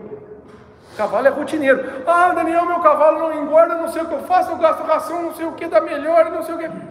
Se você trata um dia às seis da manhã, no outro dia meio-dia, no outro dia seis horas da tarde, teu cavalo não vai engordar. Não vai engordar, e eu te digo que não vai engordar. Vai ficar bonitinho, porque ele está comendo alguma coisa, mas não vai ficar bonito. Bonito, pelo fino. Entenderam? Ah, não limpa cocheiro domingo. Também não vai ficar bonito. Eu tinha um funcionário lá em casa que limpa cocheiro um dia sim, um dia não. Calcula. Não existe isso. Tem. Cocheiro tem que se limpar todos os dias. Natal tem que limpar. Ano novo tem que limpar. Dia 31 e dia 1 Finados tem que limpar. Páscoa limpa também. Entenderam? Não tem. O cavalo é isso. E você quer viver isso? Viva! Só que você tem que ter amor no que você faz. Se você não tiver amor no que você faz, já para, já para. Entende? Seja proprietário de cavalo, então, se você não quer se submeter a isso. Entenderam? Ou você vai ter uma equipe que faz. Certo? Mas cavalo é, é muita disciplina. Você vai montar, por exemplo, vou falar uma coisa para vocês. Meus cavalos, quando eu monto, todos os meus cavalos, quando eu recuo eles, eles têm que dar um passo para trás sozinho. Por quê? Porque eu quero que eles mostrem que eles estão pensando para trás. Meu cavalo, quando eu recuo, eu solto a rédea, eles nunca podem fazer isso aqui, ó. Se eles fizerem isso aqui quando eu solto a rédea, ó, tá recuando. Soltei a rédea, eles têm que fazer isso aqui, ó. Eles têm que se arrumar para trás. Eles não podem fazer isso aqui, ó. Soltei a. Tô, tô com a rédea aqui, presa, presa, presa, presa, soltei. Se eles fizerem isso, eles estão com peso nas mãos, eles estão pensando para frente também. Onde é que vai refletir isso aqui? No esbarro. Diretamente no esbarro. Direto, o cavalo não recua bem no esbarro. Ah, meu cavalo esbarra, dá 10 paradas com ele, então eu quero ver. 10. Se eu pegar minhas éguas paradeiras lá, elas dão 10 paradas. 10 paradas. E cada uma mais forte que a outra. Enquanto elas aguentam, elas estão parando. E param, vocês já devem ter visto. Quando eles param, eles se arrumam assim para trás. Por quê? Porque eles pensam no recuo. Vocês estão entendendo? É onde vai entrar a disciplina. Não saio para frente com o cavalo depois que eu recuo. Por quê? Alguém sabe explicar? Não tem lógica você sair para frente quando depois que você recua. Entendeu? Ah, mas eu estou campeando, você tem que sair para frente. Então beleza, sai para frente, está campeando, mas a hora que você estiver treinando, você quiser entrar na cabeça dele, você recua e você sai para frente, o que, que vai acontecer com o teu cavalo? Vai começar a recuar pensando para frente, que ele saiu para frente. Aquele recuo foi só, não foi nada. Ele vai recuar pensando em ir para frente. Ele vai começar a jogar o peso para a mão, o teu esbarro foi pronto. Não, não vai existir mais. Se você quer um esbarro técnico.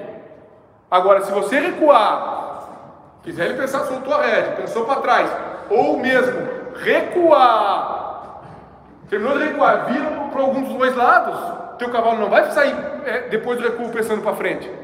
Isso é disciplina. E daí eu pego, vocês vão ver que ali no, no curso amanhã eu vou pedir para cada exercício que eu fizer, eu falar, ó, quem quer fazer? Ah, eu quero fazer, então tá. Vocês vão errar isso. Por quê? Porque não está maduro na cabeça de vocês ainda. Entenderam? Vocês têm que criar isso na cabeça de vocês, disciplina e hábito andam juntos. Você criou o hábito de tratar os seus cavalos, sei lá, 6 horas da manhã.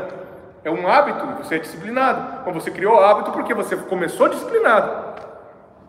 Entenderam? Então, quando você cria o hábito de recuar e soltar a reta e ficar para trás, você nunca mais vai fazer, deixar de fazer isso. Você vai ver o benefício que é isso aí. Entende? Mesma coisa para os lados. Quero sempre, eu nunca solto uma rede no meu cavalo se meu cavalo está pesando na rede de fora. Disciplina. Hábito, vocês têm que criar isso aí. Daí vocês vão ter cavalo bom. Isso aí é a escolha de cada um de vocês. Se vocês escolherem ir por esse caminho, vocês vão ter cavalo bom.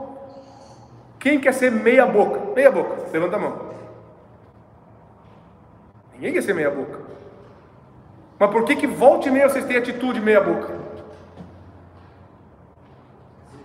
Indisciplinado. Não faz as coisas com paciência, com técnica, não procura o melhor resultado. Pessoal, meia boca tá cheio. Tá cheio no mercado. Quem que vai se destacar? O disciplinado. Meia boca tá cheio. Tá cheio, tem onde você quer. Chutou a toceira ali fora, sai meia boca. É verdade. Meia boca, cara. Tá cheio. Só que daí é o cara que vai ganhar aquele saláriozinho, vai sobreviver, Ninguém vai botar muita fé nele, porque nunca saiu daquilo ali. Está todo mundo vendo um resultado um igual ao outro, um dá um pouco mais certo que o outro e tal, aquilo ali, beleza, meia boca. Quem que vai aparecer, quem que vai ficar no mercado, quem que vai subir, quem que não vai, quem que, quem que os patrão vão brigar para não deixar sair de, de dentro de casa? Os disciplinados. Vocês estão entendendo? Isso aí. Só que vocês têm que criar essa disciplina. Isso depende de vocês, não depende de ninguém mais, é só vocês. É só vocês. É só vocês irem para casa pensando assim, eu vou virar um cara disciplinado. Ponto. Cavalo precisa de gente disciplinada. Precisa. E ninguém nasce disciplinado, viu? Vocês têm que criar isso na cabeça de vocês. Progressividade, já falei várias vezes que é, é, Palavra-chave, você vai devagar. A primeira coisa que a gente tem que fazer, ensinar para depois cobrar. Você não pode cobrar sem ensinar um cavalo. Vocês, a maioria de vocês já cobrou, eu já cobrei sem ensinar. Eu já cobrei sem ensinar. Já cobrei esbarro sem ensinar, já cobrei giro sem ensinar, já cobrei círculo sem ensinar, já cobrei controle de velocidade sem ensinar. Entende? Entende? Então a gente tem que ensinar para depois cobrar o cavalo. Tem que ter lógica para o cavalo. Tem que ter lógica as coisas que vocês vão fazer com o cavalo de vocês. Parece uma coisa tão simples. Uma outra frase que eu sempre digo, que parece tão simples, mas que não é fácil. Seja mais inteligente que o seu cavalo. Pensem nisso. Comece a pensar nas coisas que vocês já passaram. E vocês vão ver que os cavalos de vocês foram mais inteligentes que vocês. Aconteceu comigo também. Acontece comigo. Você vai pensar, meu Deus, ele está ganhando de mim por causa disso. Você tem que mudar isso aqui. Outra coisa que eu, que eu brigo com a piazada lá em casa, lá. E, brigo não. Às vezes eu brigo. Mas quer mudar o, o resultado fazendo a mesma coisa. Meu Deus do céu, não tem fundamento você ficar fazendo a mesma coisa, a mesma coisa, a mesma coisa. Mas esse cavalo não muda, mas você não muda. Como é que você quer um resultado diferente se está fazendo a mesma coisa sempre? Pessoal, doma não pode ser uma receita de bolo. Ah, porque eu pego meu cavalo e fico 15 dias assim, 7 dias assim e, e 20 dias assim. Não, cara, vai ter um cavalo que você vai ter que deixar enfrenando um mês. Agora já tem cavalo lá em casa, nós estamos enfrenando de manhã e montando de tarde. Masca freio de manhã e montando de tarde. Masca freio de manhã e montando de tarde. Está dando certo. É uma coisa nova que eu estou fazendo, estou testando. Tem cavalo que eu estou domando sem bocal, para testar, para passar para o pessoal lá que não sabe usar bocal. Estou testando. Quarto de milha, as mulas eu não usei bocal. Para testar. Entende? Testo, eu testo. Agora, se você não testar, se você ficar aqui, ó. Não. A pessoa tal falou que eu tenho que fazer desse jeito. Daí você está fazendo num cavalo deu certo, claro, vai dar certo. Se o cara testou e te ensinou, é porque deu certo em algum cavalo. Agora, se pegou um outro cavalo, com outra genética, de outra raça que seja, e não deu certo. Daí você vai ficar naquilo ali, não, mas então o fulano falou e eu sou apaixonado por ele. Não, cara, você tem que ter a cabeça aberta. Pô, não está dando certo com essa ferramenta? Usa essa. Só que você sabe usar essa aqui? Não, não sei, então é melhor você não usar também. Entendeu? Que é o negócio do bridão. Vai usar o bridão? Então saiba usar. Entendeu? Agora vocês não podem ficar fechados, alienados. Isso chama-se alienação. Você não pode ficar dentro de uma bolha e achar que aquilo ali é a única coisa correta que tem. Tem um mundo inteiro para fora. Eu vou contar uma coisa para vocês, que eu nunca falei isso. Uma vez, nessa primeira história eu falei lá em Braço do Norte. A segunda vez, então. Eu estava domando um Porto Rosilho, comum assim, era criolinha assim, mas meia boca. Com, eu não lembro com quantos dias ele estava, mas ele estava com uns 15 dias de doma. E ele estava girando. Girando. Eu achei que eu estava errado porque o meu potro de 15 dias de doma estava girando. Falei, não, não pode, está muito novinho para girar. Começava a girar, começava a pensar para dentro, pensando para dentro, falei, não, não pode isso aqui, está errado. Eu estava indo contra o, o, o que eu prego hoje. Mas por quê? Porque eu estava assim, ó. Eu não achava que um potro podia virar daquele jeito que ele estava virando, estava virando melhor do que o meu cavalo velho. E eu comecei a pensar, meu Deus do céu, o cara está em alguma coisa errada. Eu estou errando. O que, que eu estou errando? Não estava errando, eu estava na frente de todo mundo. Só que eu estava fazendo uma coisa diferente do que todo mundo faz. Eu duvidei do meu método. Esse trabalho de chão que eu vou ensinar para vocês fazer amanhã, eu parei de fazer. Uma época eu não fazia mais. Por quê? Porque ninguém fazia. E eu sabia que era poderoso aquilo ali. Vocês vão ver o poder que aquilo ali tem. Lá em Braço Norte me trouxeram, ah, tem uma égua que é assim, traz. O que, que ela fazia? Ah, não, não fez nada hoje, não sei não. Ué, mas o que aconteceu? Ah, mas tem outra que faz, não sei o que, traz. Tá, e aí? Não, então tem outra que traz. Faz... Trouxeram três, quatro lá e todos os cavalos se amansaram. Eu ensinei uma égua estava pulando a cerca lá, sem nada na cabeça. Sentava, estava com os garrão sem pelo aqui, ó, de tanto que sentava. Não deu um passo para encilhar. É milagre? Não é milagre, é técnica. É técnica. Tá? Ninguém está enganando ninguém. Se fosse enganação, não fazia na frente dos outros. Que já falaram que é falcatrua, já falaram que é não sei o que, mentira. Usaram uma palavra que a Gabi lembra, eu não me lembro a, a palavra. Mas, mas quiseram dizer que era tipo uma, um negócio de circo. Sabe? Pô, pessoal. Tem. Se você fizer a técnica, se você dominar a técnica e botar em prática, vai sair.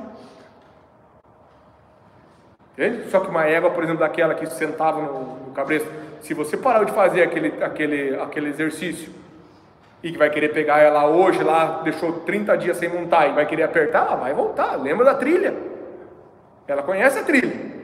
Se você fizer a coisa errada, ela vai voltar. Agora, se você trabalhar ela, afundar essa outra trilha certa aqui, ela vai esquecer aquilo lá.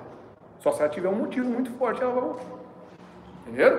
Cavalo é progressividade, paciência, é dia a dia. Cavalo é uma coisa que é muito dia a dia, tá? Muito dia a dia. E você trabalhar hoje, amanhã e depois. Hoje, amanhã e depois. Outra coisa que eu vou mostrar para vocês no curso: o cavalo não vai te dar o resultado agora. A maioria no treinamento você vai treinar o giro hoje, ele vai te dar o resultado na próxima montada.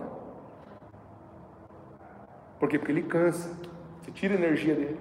Na próxima montada ele vai te dar o resultado se você trabalhou certo. Entende?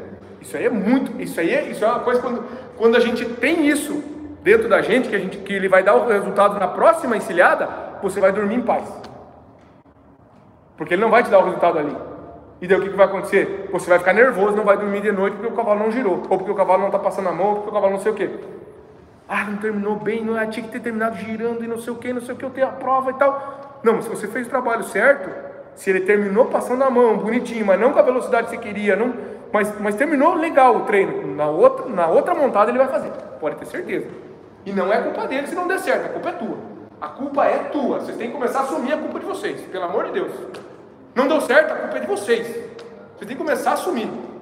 Sabe por que a gente joga a culpa para o cavalo? Quem sabe me responder essa? É, exatamente. Porque o cavalo não sabe falar. Daí o cara tá lidando no cavalo ali, daí chega o proprietário, pá, teu cavalo tá bocudo, não sei o que, ó, ó, ó, reagindo, não sei o que, não deixa nem encilhar. Daí o cavalo vai falar, é, mas ele me ripa todo dia que ele vai encilhar. O cavalo não sabe falar isso. Entendeu? É, é, é muito lógico. Entenderam? O cavalo não se defende, pessoal. Então é muito fácil você jogar tudo nas costas do cavalo. Ah, não, essa genética, essa raça, essa não sei o quê.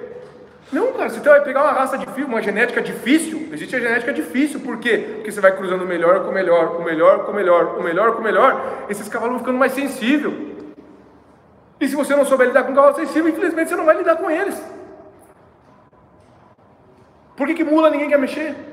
Porque se você errar uma vez, ela aprendeu errado. E daí você se ferra para voltar para trás. Ninguém quer mexer com mula.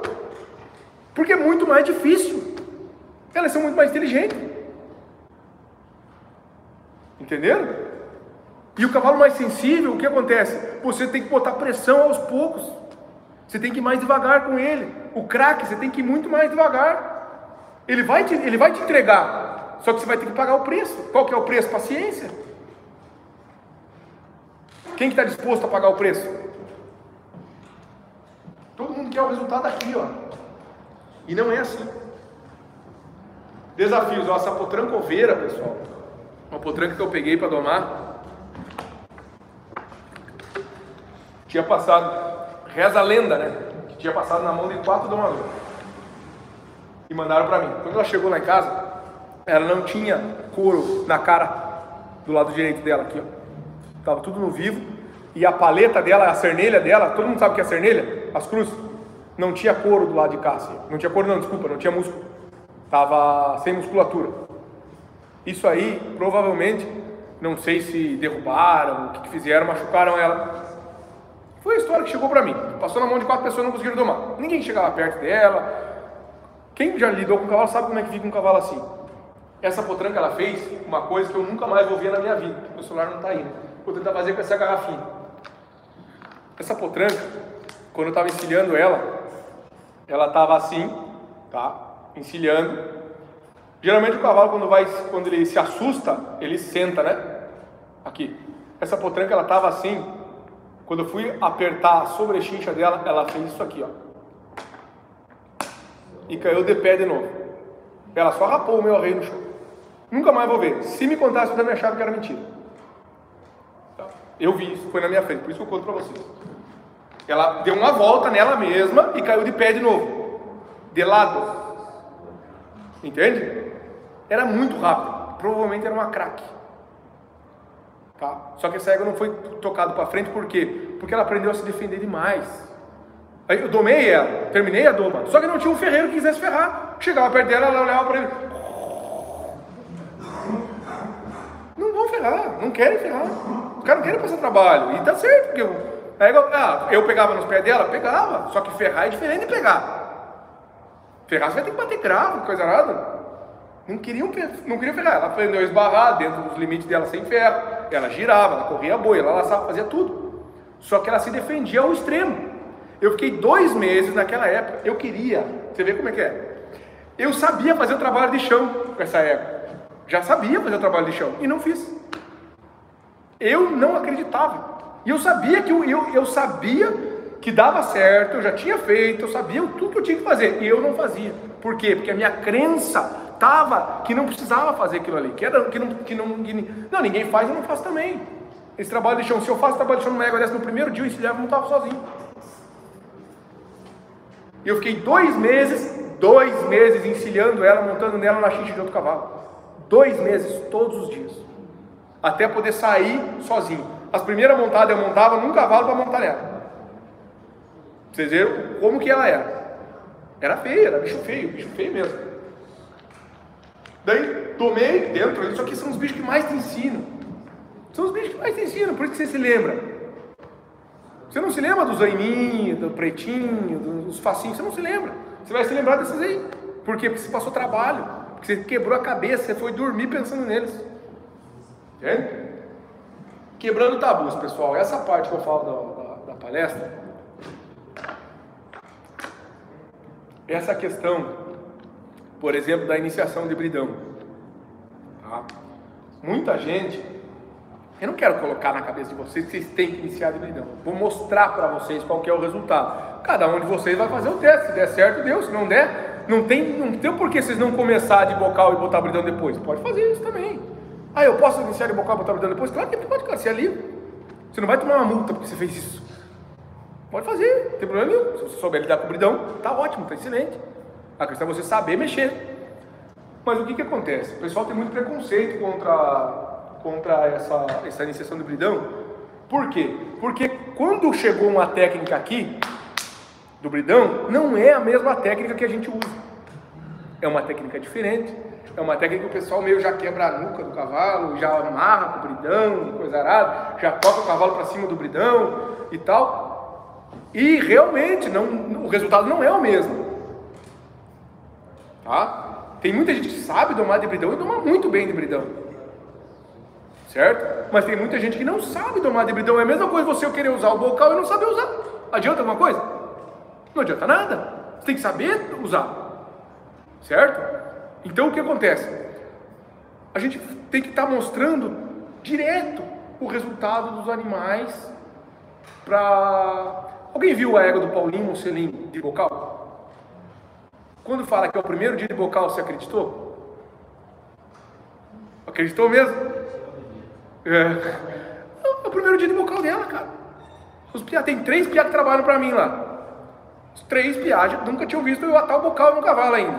Foi a primeira época que eu atei o bocal ali com esses três trabalhando. Falei, vamos lá na pista lá pra vocês verem como é que é, qual, que é, qual que é o resultado. É que tá girando na pata de bocal, cara. Entende? Sem reação, quietinha, parou, esbarrou, fez tudo.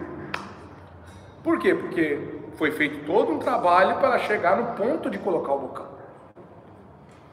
Entenderam? E por que, que é importante o bocal? Alguém sabe? Pressão. O bocal talvez seja uma das ferramentas mais importantes no meio da doma hoje, principalmente do cavalo crioulo. Por quê? Porque o bocal é, é uma das únicas ferramentas que trabalha por baixo da língua. Eu não conheço outra ferramenta. Se, se tiver alguma outra ferramenta, vocês podem me corrigir. Eu não conheço uma outra ferramenta que trabalhe por baixo da língua. Então é uma ferramenta muito importante porque ela trabalha por baixo da língua e ela é a única ferramenta que fica pressionando direto a boca do cavalo. Então, por exemplo, um cavalo que, que, que ele está acostumado com, com bridão, com alguma com, que não que não está com pressão direta, quando você ata o bocal, você ata o bocal, eles começam a recuar. Porque você pressionou e não tirou, não deu alívio. Eles não querem sair para frente. Eles não querem sair para frente. Quando eu fui querer sair para frente com a égua dele, ela ele foi para trás, dentro do galpão. Por quê? Porque ela está acostumada, o bridão encostou na boca, para trás, encostou na boca, para trás, encostou na boca, para trás. Você cria isso muito forte na cabeça do cavalo. Depois você vai mostrar, mostrando para ele, fala- falando assim, ó, não, agora você tem a pressão, não, você vai ter que trabalhar igual. Daí você vai ter que fazer circo, vai ter que parar, vai ter que fazer tudo. Só que ele já sabe que a hora que eu sujeitar ele, tem que parar. Então você coloca o teu cavalo para trabalhar com pressão. E é essa pressão que você vai ter quando você for correr um boi. Ninguém corre boi com a rédea tão solta assim, por exemplo, campo fora. Você sempre tem a rédea levantada aqui. Claro, pode ter um momento que você vai soltar. Só que o laço, por exemplo, o cara vai sair laçando, o cara já sai com o cavalo enfrenado, sujeitado aqui, ó, quebrado aqui na tua mão. O cavalo tem que aprender a trabalhar com essa pressão. Entenderam? Tem que aprender a trabalhar com essa pressão. Entende? E o bocal é importante também por quê? Porque o bocal é a hora que se o teu cavalo dá uma enfrentadinha na tua mão, é a hora de você pegar ele valendo. Pega valendo mesmo. O bocal eu não sei vocês, mas hum, é, lá em casa, no nosso método, a gente não machuca a boca de cavalo. Por que, que a gente não machuca a boca de cavalo? Técnica, mas porque eu, procu- eu quero cuidar da boca do meu cavalo. Eu quero cuidar da boca do meu cavalo. Por quê? Porque a boca do meu cavalo eu quero ela sensível. Se eu começar a machucar, machucar, machucar, machucar, você tem uma cicatriz, todo mundo tem uma cicatriz, não é possível, todo mundo tem uma cicatriz. Encosta na cicatriz para você ver se tem uma sensibilidade, não tem uma sensibilidade. Daí o que acontece? Você machucar a boca do teu cavalo e você não conseguiu chegar na cabeça dele, você criou um baita problema. Porque o teu cavalo vai ficar com a boca mais amortecida e você não chegou na cabeça dele. Vocês estão entendendo? E é aí que vem aqueles cavalos que vão embora. Porque você machucou, machucou, machucou, machucou e não chegou na cabeça dele. Vocês estão entendendo? Por isso que é importante você entender que você tem que chegar na cabeça do cavalo e preservar a boca do teu cavalo. Porque a hora, se você preservou a boca do teu cavalo, depois, se você der um tirãozinho na boca dele, ele, opa, calma aí. Qualquer pegadinha a mais que você der, ele, ele tem sensibilidade. Entenderam? Ele tem sensibilidade. Só que para isso você tem que você tem que ensinar ele a ter sensibilidade. Você tem que mostrar para ele que ele pode ter sensibilidade. Um cara com a mão pesada nunca vai ter um cavalo da boca, da boca leve. Porque é natural do cavalo ir contra a mão da pessoa. Por isso que eu sempre falo: primeiro você encosta na boca, depois você pega. Encosta primeiro. Você deixa o teu cavalo ser leve. Encosta. Se vocês forem ver eu treinando é, parada lá em casa, aqui também, se a gente for conseguir treinar as paradas legal mesmo, vocês vão ver que eu vou colocar o cavalo para galopear e a primeira pegada eu só vou encostar. Para ver o que o meu cavalo vai, vai, vai mostrar para mim. Como que eu vou vir na primeira pegada já, já vou pum, na boca dele? Eu vou ensinar ele, encostei, não veio? Calma aí, agora eu vou pegar. Entenderam? Mas primeiro eu sempre tenho que encostar. Por quê? Porque eu tenho que dar chance para ele ser leve. Entendeu? Eu tenho que dar chance dele ser leve. Então primeiro eu só encosto. Agora imagina se você vier e pum, soco na boca, e pum, soco na boca. Qual que vai ser a reação dele? Ele vai começar a esperar o soco na boca. E ele vai começar a ir contra a tua mão. E é onde ele vai começar a botar a mão no chão. Depois de botar a mão no chão, ele começa a erguer a cabeça e depois começa a se erguer. Entendeu? E eu tenho a mão rápida, volte eu tenho a mão rápida, eu tenho que ficar me cuidando. Eu não tenho mais a mão pesada, agora eu tenho a mão rápida. Vocês sabem a diferença da mão rápida para a mão pesada? A mão rápida é a mão que vem com a rédea frouxa e puxa rápido assim, certo? A mão pesada é a mão que começa a puxar e nunca mais para. Puxa, puxa, puxa, puxa, puxa, puxa, puxa, puxa, puxa, puxa. Entenderam? É igual o cavalo que para de recuar. Alguém tem um cavalo que não recua aqui? Ou tem dificuldade para recuar? Por que, que ele não recua? Porque eles começam a fazer muita força para trás. Ele deu um passo, ele deu dois passos, deu três passos, e você sempre puxando, sempre puxando, ele vai falar, cara, eu vou parar de ir para trás, porque eu já fui para trás. Ele já foi para trás. E você continuou botando pressão, pressão, pressão, pressão, pressão, pressão, e ele nunca falou de. E, e você, ele já foi e você nunca tirou a pressão. Ele vai falar, "Vou- eu vou parar. Ele vai continuar botando pressão, eu vou parar. Daí ele para, daí você vai querer botar mais pressão, e daí, qual que é a próxima, o próximo estágio? Ele vai se erguer. Por quê? Porque o cavalo sempre vai achar uma saída. O cavalo sempre vai procurar o alívio. Ele vai procurar o alívio.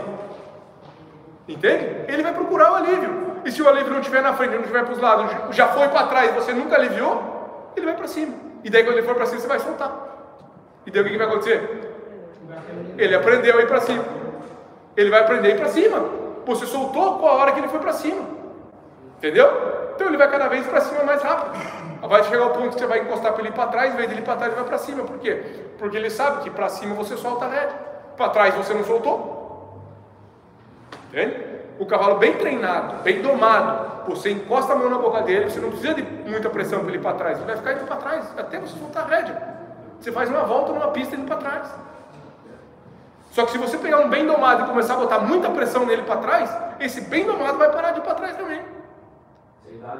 Sem dar livre. Não, assim ó, não precisa você dar o cavalo bem domado, você encostou a mão na boca dele. Ele vai para trás, ele morre indo para trás. Como que ele vai parar de ir para trás? Quando estiver indo para trás, você começar a querer botar muita pressão. Mais pressão, não parar nunca.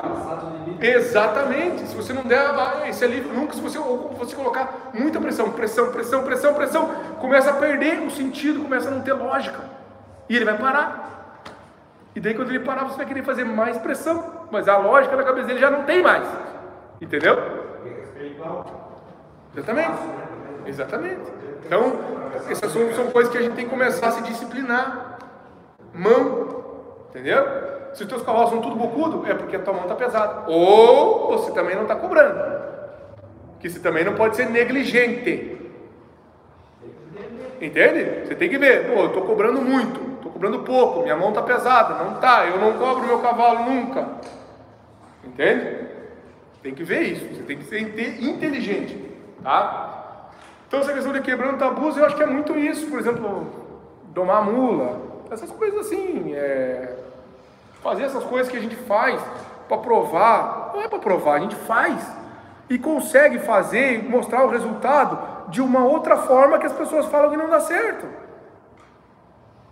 Por exemplo, muita gente fala que cavalo é irracional. Para mim não tem. Como que o cavalo é irracional se ele está aprendendo? Não tem como um ser que aprende alguma coisa ser irracional.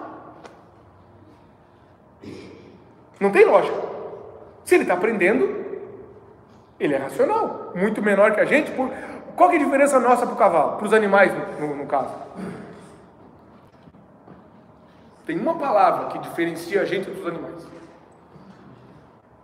Uma palavra. Cavalo, os animais no geral, eles não têm consciência. Entendeu? Consciência do que eles estão fazendo. Eles não têm consciência. Essa é a palavra. Não quer dizer que eles são irracionais. Entende? O cavalo, o cavalo foi feito um estudo na Europa, eles entendem palavras. Eu não lembro agora quantas palavras que, ele foi, que eles aprenderam, mas o cara falava balde, ele ia no balde, o cara falava cenoura, ia na cenoura, ah, não sei o que, oito palavras eu acho que eles entendiam, se eu não me engano. Entende palavra, é irracional? Não, né, pessoal? Entende? Então, sabe, eu acho que a gente tem que começar a respeitar mais o cavalo. Outra coisa que eu tenho que falar para vocês hoje nessa palestra: quem vai viver do cavalo, o mínimo, o mínimo, é respeitar o cavalo. O mínimo que você faz é respeitar o cavalo. O O cavalo vai botar o- o- a comida na tua mesa. É o cavalo que vai pagar o plano de saúde da tua, da tua família. E você não respeita esse bicho, cara. Respeite ele, cara. O que, que é você respeitar? É você não ficar dando pancada sem, sem, sem fundamento. É você tratar na hora. É você dar uma ração boa. É você dar um feno bom. É você dar água pro teu cavalo. Uma coisa tão simples. É você não fechar o teu cavalo na cocheira sujo. É você não deixar o teu cavalo uma semana sujo dentro da cocheira. É você sair do laço e lavar o teu cavalo para ele dormir amarrado no teu caminhão. Quem que lava cavalo aqui em rodeio? Quantos não lavam? Qual que é a porcentagem que lavam? Joga uma porcentagem 10%, 5%? Nem 10%. Eu era um que ia para rodeio, ensilhava meus cavalos e ia lavar no, no bebedouro, porque a gente sabe que rodeio, a maioria dos rodeios não tem lavador. No bebedouro eu lavava meus cavalos, cara. É o único que lavava o cavalo lá. Isso é respeitar. Por quê? Porque eu vivo do cavalo e eu respeito ele. Vocês estão entendendo? Tem que respeitar o bicho, cara. Respeitar não é só você não bater. Às vezes, o cavalo precisa ser corrigido. Não é o mundo da, das maravilhas que você não vai bater no cavalo nunca. Pega um cuyudo chato que está passando por cima de você. Ele já perdeu o respeito, ele não tem respeito por você. Você tem que corrigir ele. E infelizmente, às vezes, a única forma que tem é você botar limite. Só que daí você tem que saber botar esse limite. Não é o cavalo te dar uma mordida, calma aí que eu vou pegar um pedaço de pau. Vocês estão entendendo? É na hora. É na hora. Só que você tem que cuidar para não deixar o teu cavalo agressivo. Como é que você vai deixar o teu cavalo agressivo? Batendo nele na hora errada. Batendo sem precisão. De- Exatamente, sem precisão. Entende? Eu não estou defendendo que cavalo, que tem que bater em cavalo. Não. Eu estou defendendo que existem animais que estão num estágio que ele precisa de uma correção. Entenderam? Precisa de uma correção. E não é com palavra, não é no ou, não é no chiu. Entenderam? Você tem que mostrar para ele, ó, isso aqui você está tá passando na nossa zona de respeito. Eu te respeito, você me respeita. Aqui você passou, então pá, pronto. É só isso, é só isso. O cabresto mesmo, exatamente. No cabresto mesmo, aqui, ó, mordeu aqui, pá, pronto, acabou, foi na hora. Tem que ser na hora. Só que o que acontece? As pessoas pegam um pedaço de pau e querem quebrar uma pá na cabeça do cavalo. Isso está errado. Vocês estão entendendo? Isso está errado. Entende, pessoal? A gente tem que começar a. a, a- isso, é, isso é o respeito que você vai ter pelo teu cavalo. Só que ele tem que te respeitar também.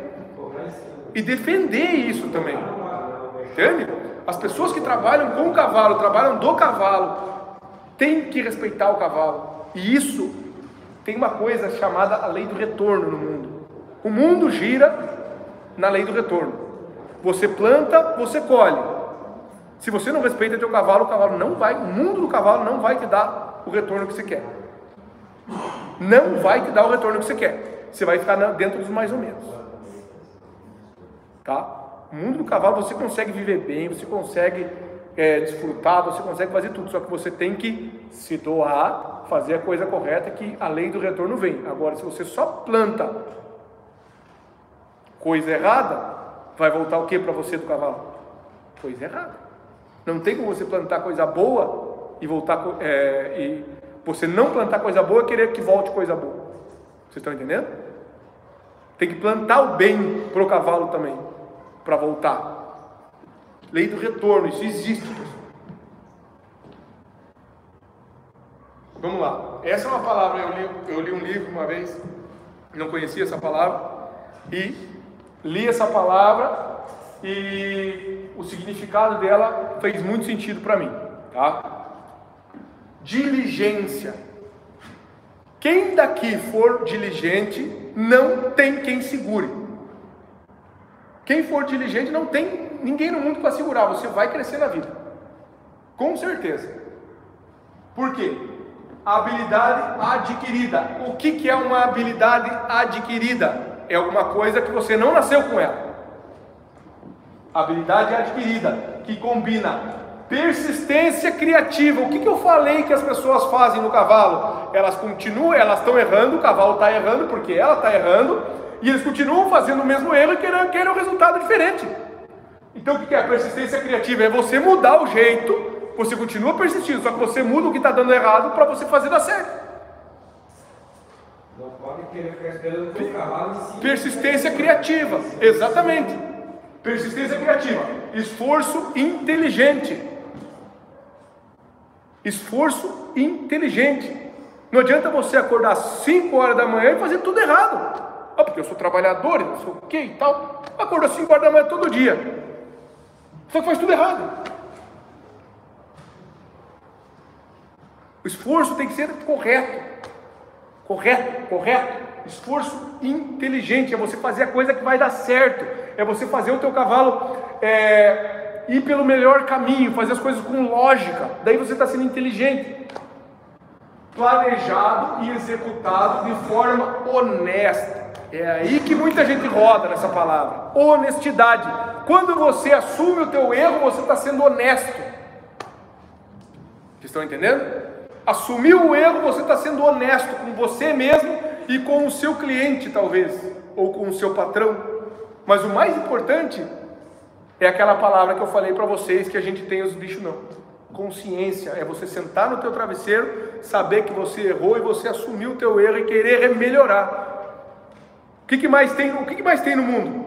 É pessoas que erram, não assumem o erro, não assumem o erro e continuam errando da mesma forma sempre. Que são as pessoas que estão naquele nível do mais ou menos. Que é o que tem de monte por aí.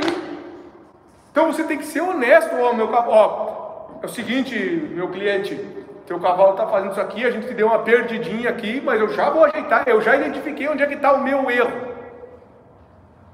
A próxima vez que você vier, ele vai estar tá bom nisso aqui. Não é o cavalo que, é o, que, que não faz, é você que não sabe fazer. É aí que está o ponto. É você que não está acertando. Tem que ser honesto. Honesto. O mundo do cavalo precisa de pessoas honestas. Quanta, vou fazer uma pergunta para vocês aqui agora. Quanta gente boa entrou no mundo do cavalo e saiu porque caiu na mão de gente desonesta? Isso aqui podia ter 100 pessoas. Se todo mundo que tivesse entrado no mundo do cavalo tivesse caído na mão de pessoas honestas, honestas, a gente ia ter três vezes mais as pessoas que tem no mundo do cavalo hoje. E sem atrasos, sem executado de forma honesta e sem atrasos. Tem que fazer hoje, tem que fazer hoje. Ah, não vou montar hoje porque está chovendo, está uma garoa. Daí amanhã chove de novo. Não, também está chovendo, vou esperar dar uma estiadinha. Dentro da cocheira o cavalo não doma, né? Não doma. Tá? Tem que montar. Tá? Sem atraso. Com competência e eficácia. Competência e eficácia. Tem que fazer e a coisa tem que dar certo. Tem que fazer e a coisa tem que dar certo. Se você está fazendo a coisa e a coisa está dando certo, você vai crescer. Se você ficar fazendo, errando, fazendo, errando, fazendo, errando, não tem como você dar certo. Tem que ter, tem que ter, uma hora tem que dar certo alguma coisa. Daniel, você não erra, erro e erro muito. Só que algum, em algum momento deu certo. Entenderam? Competência e eficácia, de modo, olha só, de modo a alcançar um resultado puro. Puro. Com honestidade, inteligência, criatividade, você chega num resultado puro e dentro do mais alto nível de excelência. Mais alto nível de excelência. Daí você vai voltar lá na disciplina, lá na progressividade. Não tem, pessoal, você não vai chegar a nenhum resultado se você não tiver aquelas palavras, isso aqui. Para você chegar a fazer um giro bonito, um esbarro bonito, não é da noite para o dia. Você vai ter que construir. Na doma progressiva, a gente quer construir o cavalo. Construir o cavalo. Uma construção começa da onde? Do alicerce. Bem feito, exatamente. Daí tem gente que quer começar da janela, do telhado. Não, você tem que começar lá de baixo. Dar uma forma correta, com criatividade, inteligência, competência, eficácia, honestidade, eu acho que é a palavra mais importante aí. Honestidade. Porque a honestidade vai, ela vai entrar em tudo aquilo ali. Até o ponto que você vai ter que chegar a ser honesto, falar assim, ó, ou eu vou para o mundo do cavalo, ou eu não vou. Eu não sirvo para isso aqui. Cavalo é muito difícil. Teve uma, uma, uma passagem, vou contar a última agora, que você já deve estar cansado, né? Eu coloquei o relógio ao contrário. Eita. Hum. Perdão, pessoal. É, uma passagem para vocês. Eu estava domando e quando comecei a querer treinar, virar treinador mesmo, sabe? Chegou um ponto que eu tinha que decidir se eu ia fazer a coisa correta ou não. Por quê? Porque eu comecei a querer criar atalho. Ah, mas o cavalo precisa passar uma mão por cima da outra mesmo? Mas isso é muito chato. Treinar cavalo é chato. Por quê? Porque é muito detalhe. É muito detalhezinho e é devagar. É repetitivo, exatamente. Então você tem que ir fazendo, fazendo, você está construindo, construindo, construindo. Daí de repente você começa a ver, ah, pô, se eu não flexionar aqui, ele está duro pro lado de cá, pô, mas eu vou ter que flexionar todos os dias, trazer o focinho dele para cá todos os dias, que troço mais chato. Será? Acho que vou ficar só domando. Daí domar, eu toco para frente ali, virou para um lado, virou para o outro. Só que daí aquilo ali não ficou bom para mim. Eu falei, não, eu preciso treinar. Só que quando você começa a treinar, e daí você começa a ter o resultado, você começa a sentir o resultado do teu cavalo melhorando, aí você vira um clique, daí você fala, agora ficou gostoso. Porque daí você começa a montar os teus cavalos, o cavalo começa a parar muito. Porra, mas mês passado ele não parava assim, agora ele está parando assim, olha só. Você construiu o teu cavalo. Entenderam? Você construiu o teu cavalo. Só que você tem que pagar o preço. Qual que é o preço? Disciplina, paciência, progressividade, tolerância. Entenderam? Só que você não pode querer hoje montar, hoje e amanhã já querer que o teu cavalo esbarre metros ou, ou gire bonito, passando uma mão por cima da outra. Para você colocar um vídeo na internet do cavalo girando técnico, passando uma mão por cima da outra, você ficou pelo menos seis meses trabalhando ele. Um giro técnico bonito, assim, ó, de você não ter um errinho no giro, assim. Seis meses de trabalho. Entende? Não é simples, não é tão fácil. Não é fácil trabalhar cavalo. Entende? Só que, ah, mas eu só final de semana, Daniel, eu vou conseguir? Vai conseguir. Só que você vai ter que montar pensando em treinar. Claro que vai demorar um pouquinho mais de tempo, mas você consegue. Se você fizer a coisa correta, você vai conseguir. Cavalo aprende, pessoal. Se você montar só final de semana nele e fizer a coisa correta, você vai chegar num resultado melhor do que, o, cara que monta todo dia e não tem disciplina. Se você montar só final de semana e tiver disciplina, vai acontecer. Pode ter certeza. O cara que monta todo dia é relaxado, não vai chegar a lugar nenhum. E a culpa sempre vai ser do cavalo. Se você montar final de semana e fizer a coisa disciplinada, vai chegar no resultado que você quer. Vai chegar. Talvez demore um pouquinho mais. Ah, Daniel, será que eu consigo domar um cavalo montando só final de semana? Consegue. Pode demorar um ano, dois anos, para chegar no ponto que você quer. Uma coisa importante que eu vou falar para vocês. Última coisa que eu falo. Quando vocês começarem a trabalhar cavalo, vocês vão ter 50% de um lado, 50% do outro. Vocês se lembram que o cavalo tem dois lados. Então eu tenho 50% de um lado e 50% do outro. 50 mais 50 quanto que dá? Eu sinto informar vocês, mas vocês nunca vão ter um cavalo 100%. Nunca. Essa somatória no cavalo nunca vai dar 100%. Por quê? Porque você vai arrumar esse lado e vai estragar um pouquinho esse. Daí você vai arrumar esse, daí você desequilibra esse. Daí você acha esse e desajeita esse. Sempre vai ter um, cavalo, um ladinho que o teu cavalo não vai dar 100%. Não vai, um dos lados não vai dar 50% para fechar o 100%. Sempre vai ter. E você não pode se desesperar por isso. Você só tem que trabalhar. Na verdade, é melhor você saber que o teu cavalo nunca vai estar 100%, que daí você trabalha tranquilo. Você vai melhorando aqui, melhorando ali, melhorando aqui, melhorando aqui. Até que você vai conseguir meio que emparelhar, você consegue chegar nos 90. Mas o 100 você nunca vai chegar, porque sempre vai ter um quezinho. Sempre vai ter um quezinho para você arrumar de um lado ou do outro. Sempre vai ter um lado que você trabalha melhor, sempre vai ter um lado que você monta melhor. Que a tua mão é mais leve, que, tua, que você flexionou mais, que você trabalhou mais, que você é, soltou na hora certa, soltou na hora errada. E os cavalos têm a dificuldade deles, claro, exatamente. Tem o cavalo que sempre vai girar melhor para um lado que para o outro. Só que eu vou te falar uma coisa, dentro da minha experiência, uh, o reflexo é por, nossa causa. O maior reflexo que eu vejo lá em casa é por nossa causa. Você começa a montar um potro, você acha ah, o nosso lado direito desse potro é muito bom, de repente você pega o lado esquerdo dele, deu o lado esquerdo está anos luz na frente do direito. Então é você que eu acho, eu acredito muito mais no que você está fazendo em cima do que a resposta dele. sabe? É, eu peguei minha égua de milha lá agora que não virava para direita. E teve dias agora que ela já trabalhou melhor para direita do que para esquerda. Entende? Você vai falar, não, mas ela é empenada para direita, então. Mas é uma égua que já estava com um ano e sete meses de doma, que tava, che- chegou lá em casa com um ano e sete meses, desde o início da doma e não virava para direita, de rédea fechada.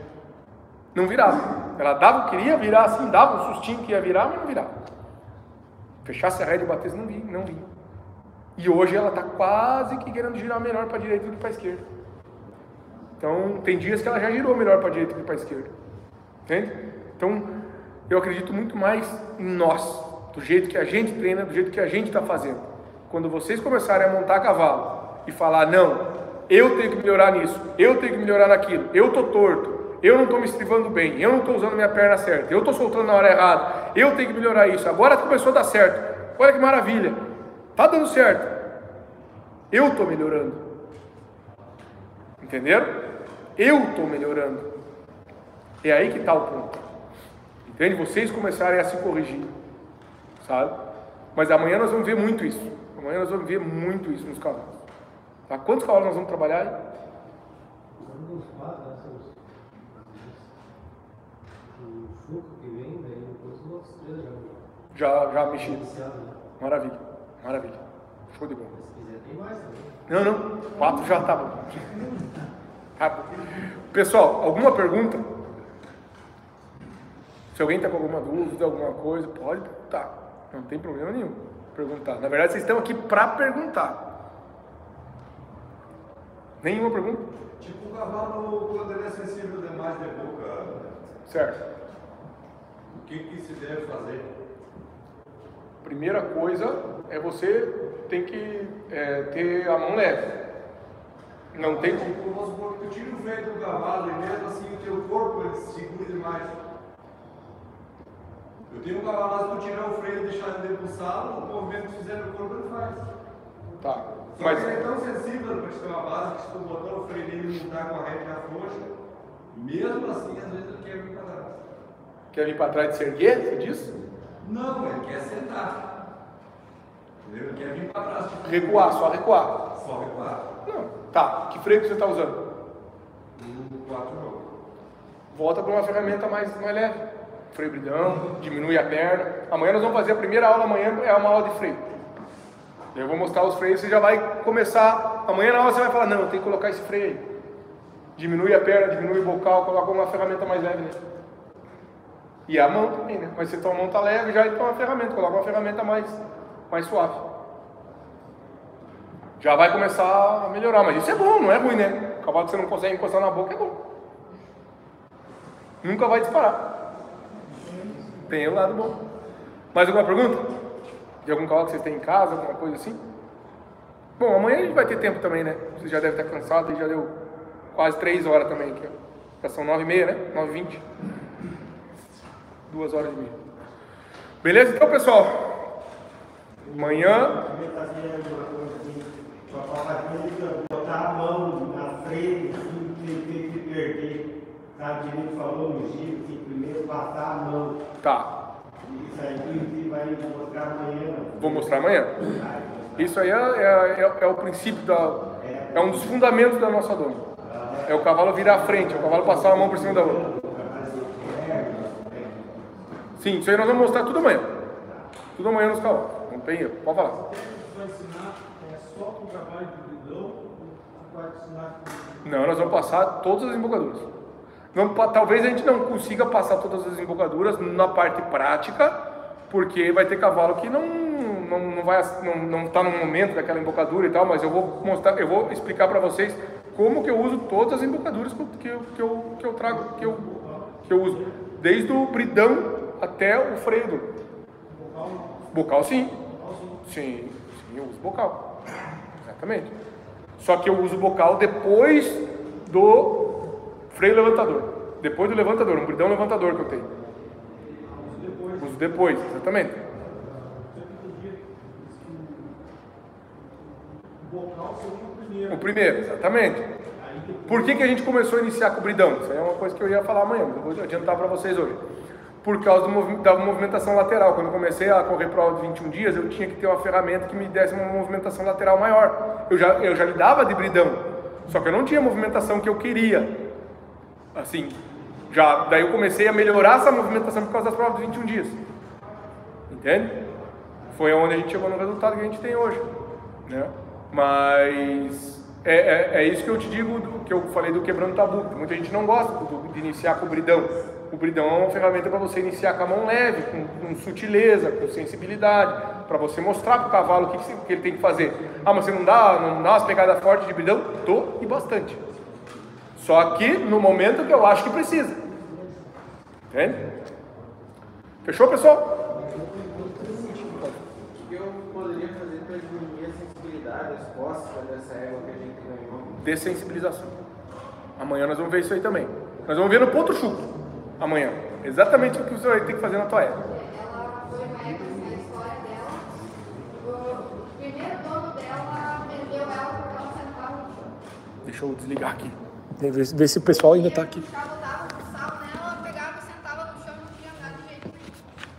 Certo.